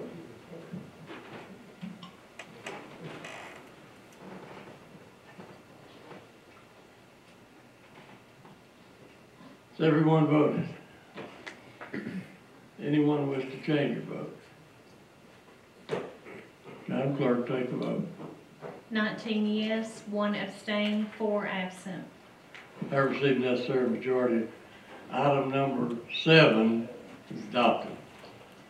Um, next up, item thirteen, Commissioner Locke, you're recognized on item thirteen. This resolution. This resolution is for Sullivan County EMS Services, Station Number Eight, order to provide power to a generator. Sullivan County Commission's authorizes funding of fifteen thousand four hundred forty-five dollars to pay for electrical upgrades. Sullivan County EMS Station Eight accounts to be assigned by the Finance Department. The generator was brought to the location where Station Eight is now from Station Four beside the Health Department. They got a new generator at the Health Department on Sullivan Street and took this generator to Station Eight. So we need it hooked up when it was there, dropped off. It had a four hundred amp and it needs to be converted over to, I think it is a three hundred transfer switch. Um, Acorn's quotes on the backside, and I waiver the rules, and anybody's got any questions any further, Mr. Mays is here, I think, in the back still, and he could answer more questions.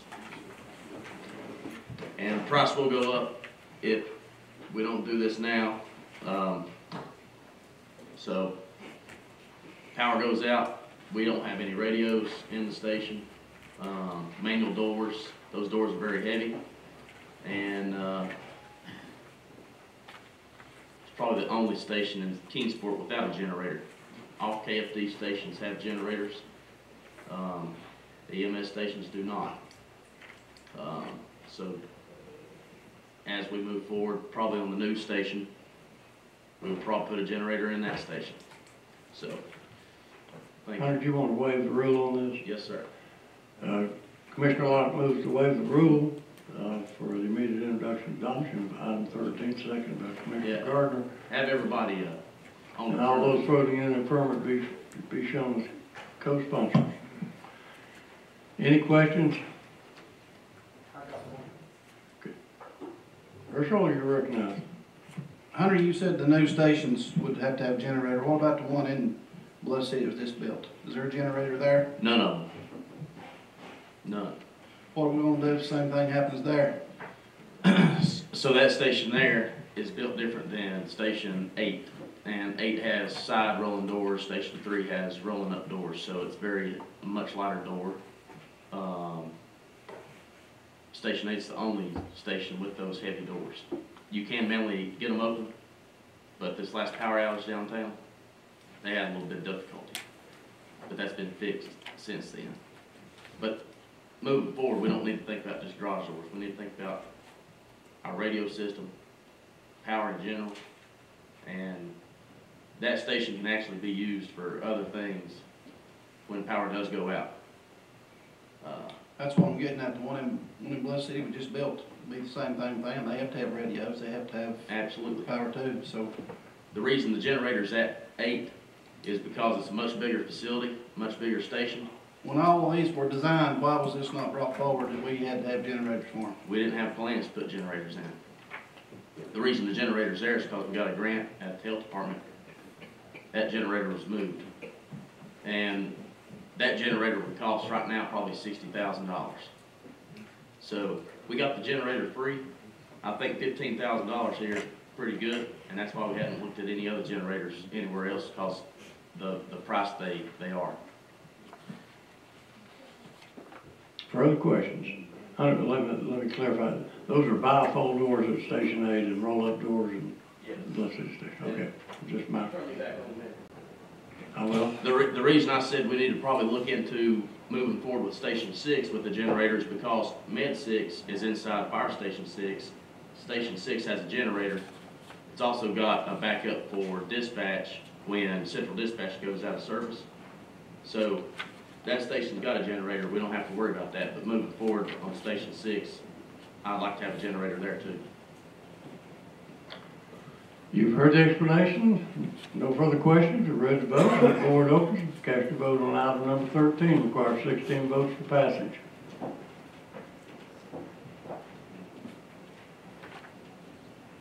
Has everyone voted? Anyone wish to change their vote? Madam Clerk, take the vote. Twenty yes, four absent. Have received the necessary majority, item thirteen is adopted.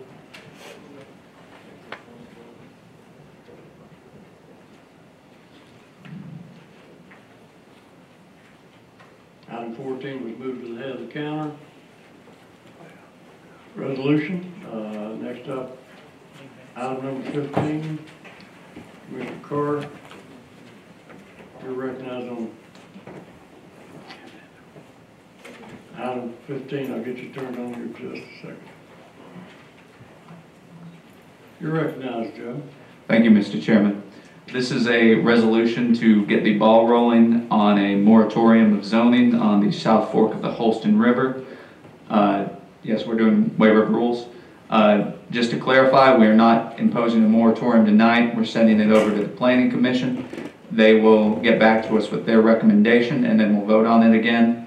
Uh, I'm requesting waiver of rules, and also, uh, please be sure to add uh, Commissioner Crosswhite as a co-sponsor.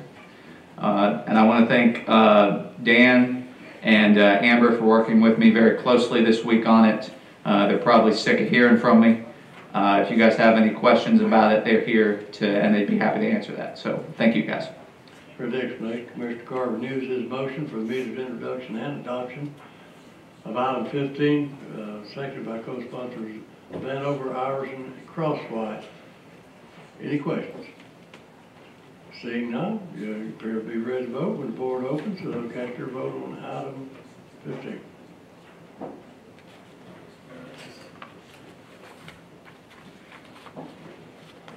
Has everyone voted? Anyone wish to change their vote? Madam Clerk, take the vote. Twenty yes, four absent. Having received necessary majority, item number fifteen is adopted. Moving on the agenda, uh, these are added agenda items, the, item sixteen.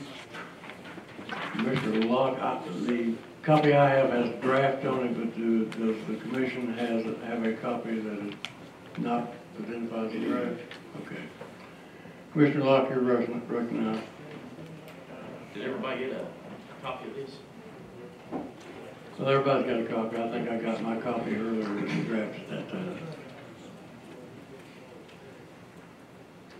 How do you recognize for explanation? This resolution here is for Kingsport Life Saving Crew to increase seven thousand dollars to remainder fiscal year to meet insurance regulations. It's really, what this is for is, back in two thousand fourteen or fifteen, the county city, the commission back then did a county-city agreement at the Kingsport Life Saving Crew when the lower end volunteer fire departments went in and done a first responder program. And the city does seventy-five thousand dollars, and the county contributes seventy-five thousand dollars to have that paid guy on that rescue truck coming out of that station. The first responder programs at Sullivan West, Warriors Path, and Bloomingdale, we pay that first responder program to each department hundred I think it's hundred and eighty-six thousand dollars a year. So, all this is, is to, we're gonna do seven grand, the city's gonna do seven grand, and that's gonna get us fourteen thousand dollars for the remaining fiscal year. And the reason we need to do this is they've had a lot of turnover and promotion at Kingsport Fire. And Kingsport Fire are the ones who run that rescue truck as a paid person. We can't run the truck as paid being a volunteer at that particular department. So our insurance does not cover anyone under the age of twenty-one, and the firemen that are not engineers have worked there less than five years, and they're not of age. So we want to put an engineer or higher in rank on that particular crash truck, and this is what it takes to get us there, and it also takes this to be in compliance with our insurance company. And the city has agreed to do seven grand if we will.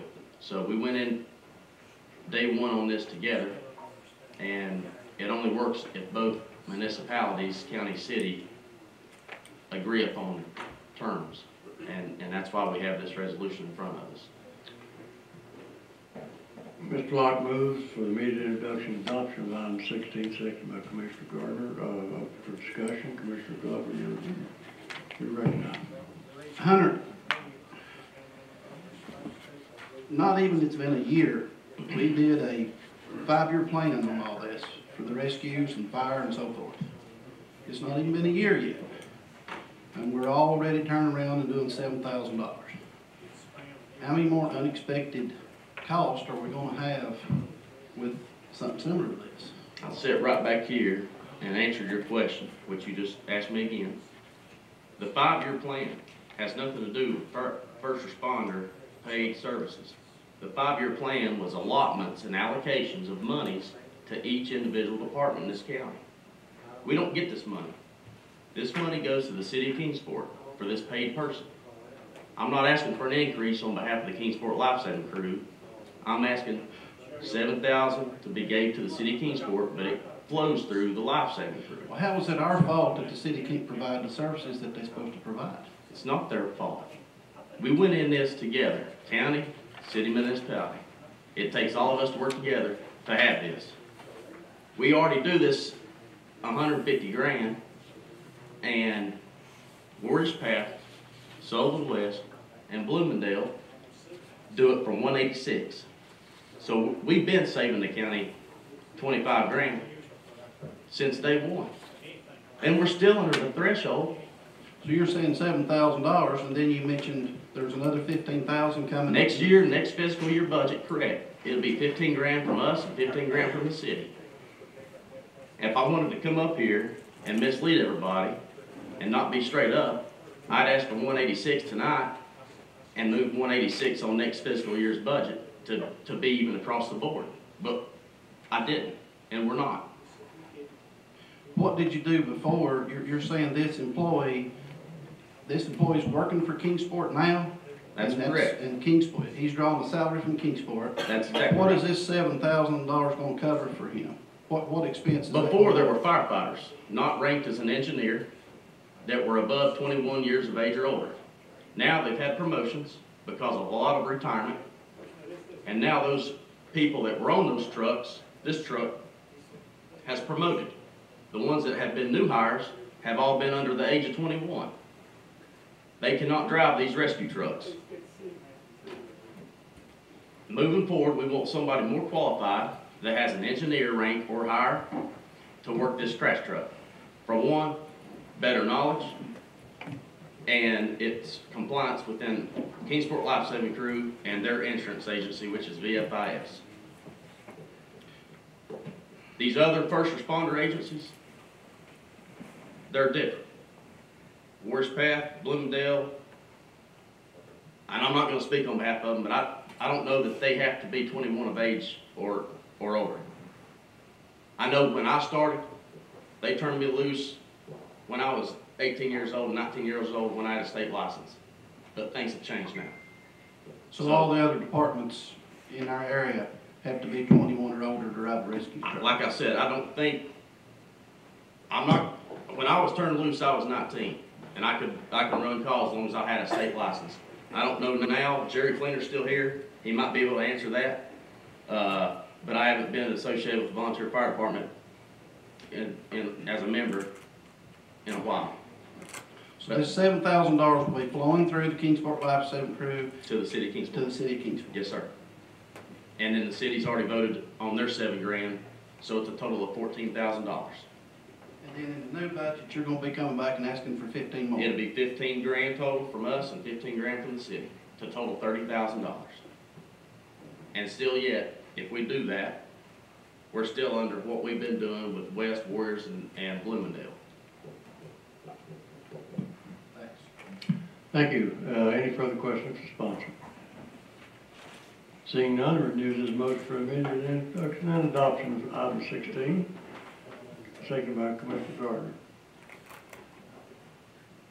Darlene, you're recon, you're recognized.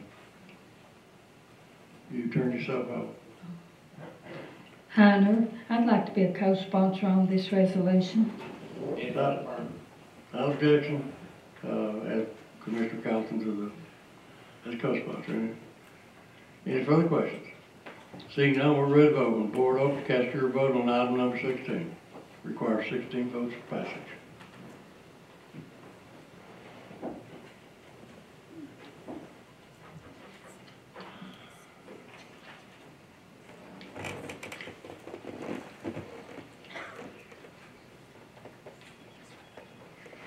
Everyone voted. Anyone wish to change their vote? Madam Clerk, take vote. Twenty yes, four absent. Have received necessary majority. Item sixteen is adopted. Um, Okay, I- with all this paper, I believe that's all the resolutions we have. Now, there may be others.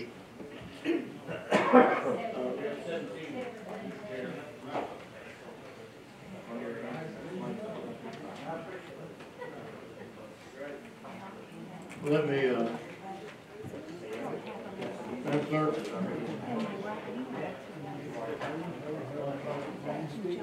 Mr. Pro Tem, bring me, uh, uh, I, I, I need to recognize Mr. Bailey on local government notes.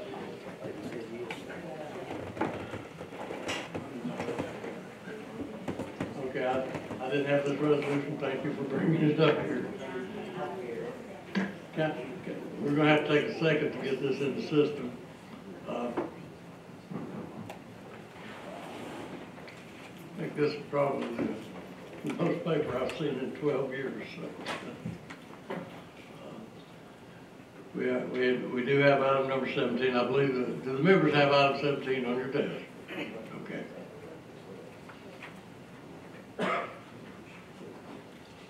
Have one job, make sure the chairman's got, got everything he needs.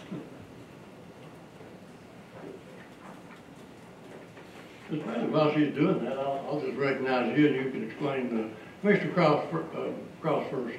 Commissioner Cross, you, Yes, I was gonna carry this resolution for Commissioner Cole, and I was hoping you would recognize Mr. Bailey on what's going on here. That's what I was gonna ask. okay. Uh, And while she's getting that in there, if you wanna, This resolution is simply a finale to what you've seen before you the last three months leading up to the capital outlay notes to be issued for the sheriff's vehicles. And it's kind of different than it used to be. It used to be, his body would approve it first, and the comptroller's office would approve it after that. Now it's required that they approve it before you approve it. And, uh, that's the way it's been run, well, it's been run before you three times, and so now I got final approval from them, uh, somewhere about one o'clock. I was told yesterday afternoon it was approved. I didn't actually get it, or the mayor didn't get it until somewhere around lunch today, is the reason we, we had to kind of scrap around this, to how to phrase this, but it's, actually, they should have had it in the caption, and I, we were kind of the wonderment how we best do this, because a year from now, when we start looking for, when this was actually approved, this will be the date that it's approved, not those two previous meetings that we approved a portion of. So, one million, five hundred fifty thousand dollars should have been in the caption of that, so when we come back in a year from now, two years from now, trying to find it, it'll show up. If you don't mind, if you amend that into it, it would be useful toward locating in the future. Any questions? Heard, the explanation, any questions, uh, Commissioner Cross, uh, you move for immediate introduction and adoption, seconded, seconded by Mr. Gardner, uh, any, any further questions from Mr. Bailey or Mr. Cross? Appreciate your responsiveness in the absence of Mr. Cole. Yes, sir. Thank you. Seeing none, would the board open to cast your vote on item number seventeen?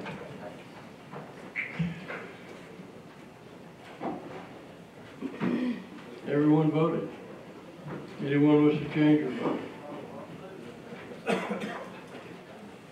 Madam Clerk, take the vote. Twenty yes, four absent. I received necessary majority, item seventeen is adopted. If there's any additional resolutions, I'm gonna ask Commissioner Gardner to come up here because I'm totally confused. Don't you bring me another resolution? I believe that does complete our resolution agenda. Mr. Bailey, Mr. Bailey alluded to the fact that we just, I got an email at eleven forty-six today, and that's why we have a, a late filing on this. Uh, there was also a comment made that we borrowed eighty million dollars with less paperwork than we did on financing these cars on the capital outlay note. And that's what we're dealing with, uh, as they change the laws and change the regulations and rules in Nashville.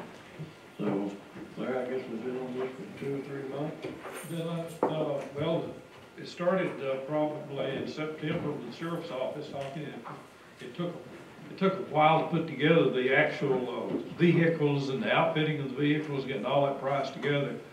And then, um, we had to confirm that we could borrow money with a capital outlay, well, cheaper than we could, uh, do with the leasing agreement, which I was comfortable we could before we started, but that law has changed, so we have to show that with them. And I did, and, uh, come forward, then getting everything else, but it's, uh, next time shouldn't be as challenging, but it, it did take a lot of wasted effort on my part. Probably I didn't read some things as carefully. I, didn't- the standards from the accounting standpoint have changed considerably with leases. And that's where I was putting focus on, proving that first point, but actually, they've changed some other things. We've not issued any capital outlay notes in several years as to how that's done. And, uh, it's, in the long run, it'll not be this challenging, we hope. I hope not, I don't, never see another one that- is, but it's for a good cause, and, uh, it's, uh, we could have been more, I could have been more expedient on the latter part, but, uh, it was a slow process, and I regret that, but still. You're gonna get, they're gonna get their vehicles, and, uh, hopefully, not too long off. Thank you, Larry. Uh, we have some members that want to be recognized. That completes our business agenda, and I know we've had some pass outs on the desk, and I- I'm sure people want to tell you what they are. So, Commissioner Means, you're recognized. Thank you, Mayor. Um, just uh, wanted to invite the public and commissioners, mayor, county workers, all of our Sullivan County residents, our elected officials, pastors, leaders of churches, leaders of small businesses, and clubs within our community. I would like for you to please consider it your personal invitation to come to our uh, Mapping Marxism event. And um, it's going to be here in this room And um, I'd love to have so many people that we have to move the desks and just have a really great time. And um, it'll be January 28th, so next Saturday from 5 to 6:30. And I just want to especially thank the mayor because he has been, he was just really uh, encouraging and supportive of uh, getting this type of information out to the public. And so this presentation will be given by a gentleman named Aaron Miller, who is a veteran, um, a liberty advocate, and he also, um, with some other veterans they have in it, he's the executive director for the Foundation for Liberty and Freedom. Although I do believe it is important that we educate the next generation on this, um, please be aware of the dark subjects that will be discussed that may not be suitable for young children um, cannibalism, mass torture, sexualization of children. And if you don't know who Karl Marx is or was, um, or why Marxism is important for us to understand, Oh, this is, this is exactly why we're having this. So it's a free event, and also on a completely separate note, we're doing a book club. So that's going to be the first one of those is going to be February 11th. So if you're reading that book right now or listening to it, it'll be here at 9 a.m. And we'll just have uh, Socratic discussions over those. Um, 1984, George Orwell, and I thank you all for entertaining this with me.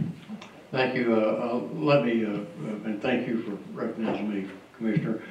Uh, Of course, this is being held on Saturday night. Commissioner called me and asked me to, if if it was possible to use the courtroom. And courthouse is normally not open on Saturday night, but we try to respond to your needs. If you come to me and ask me to, to use the courthouse, and I would say, and, and and this is just a a little disclaimer, that this is not endorsed by the commission. It is, uh, it is endorsed by the sponsor of the meeting, and like I say, you can have any meetings you like. A book club, I hope you have a good turnout on eighty-four. I read that uh, a long time ago, but, uh, again, I, as a commissioner, you can, uh, um, request, request the mayor's office, and it's not being, if this room's not being used, it's your room. And so, uh, and that doesn't mean that, uh, if you have a subject that somebody doesn't agree with, it's your room. So, anyway, Sam? Uh, first of all, I want to thank you for the Wesley's. Oh, Uh, You're welcome.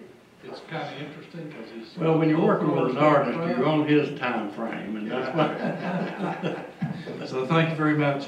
Uh, for those of you that do the shopping in your household and you know what the cost of, uh, eggs are now, uh, if you look on the, uh, four H extension, uh, flyer that's laying on your desk, if you have children or grandchildren that are in four H, you might want to encourage them, if they're not in four H, to join because I, I did this program one, years ago when I was in four H. To get the, uh, baby chicks come out in March, and there's a process. But, uh, if your neighborhood allows chickens, it's a good time to get some free chickens. Thanks, Sam. Commissioner Aker? Thank you, Chairman. Just a couple quick things. Uh, Welcome back, Larry Crawford. Good to see you, sir. Fabulous to see you. And. It is always, isn't it? Um, That was good, but you know, our section over here has talked a lot about money spending, and, and Larry, you mentioned about the capital outlay, the million five, and how that was different for the leases compared to, and all that. Does that mean that the state, we're gonna get rid of copier leases in the future?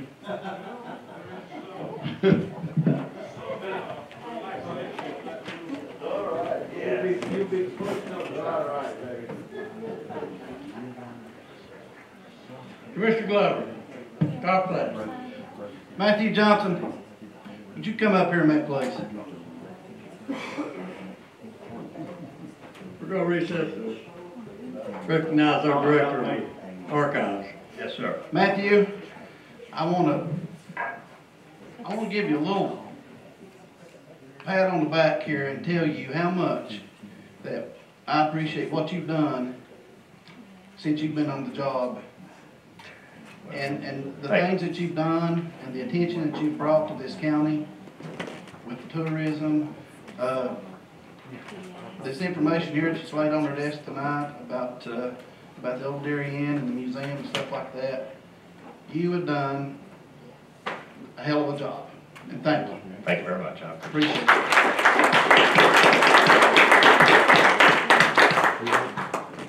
Now Herschel is Bull gonna come out riding, for more. bull money. riding again Saturday night. Very good. Jessica, what about the bull ride? Oh, you gotta go. Family friendly, it's the most American event that you can attend right now. I'm telling you right now.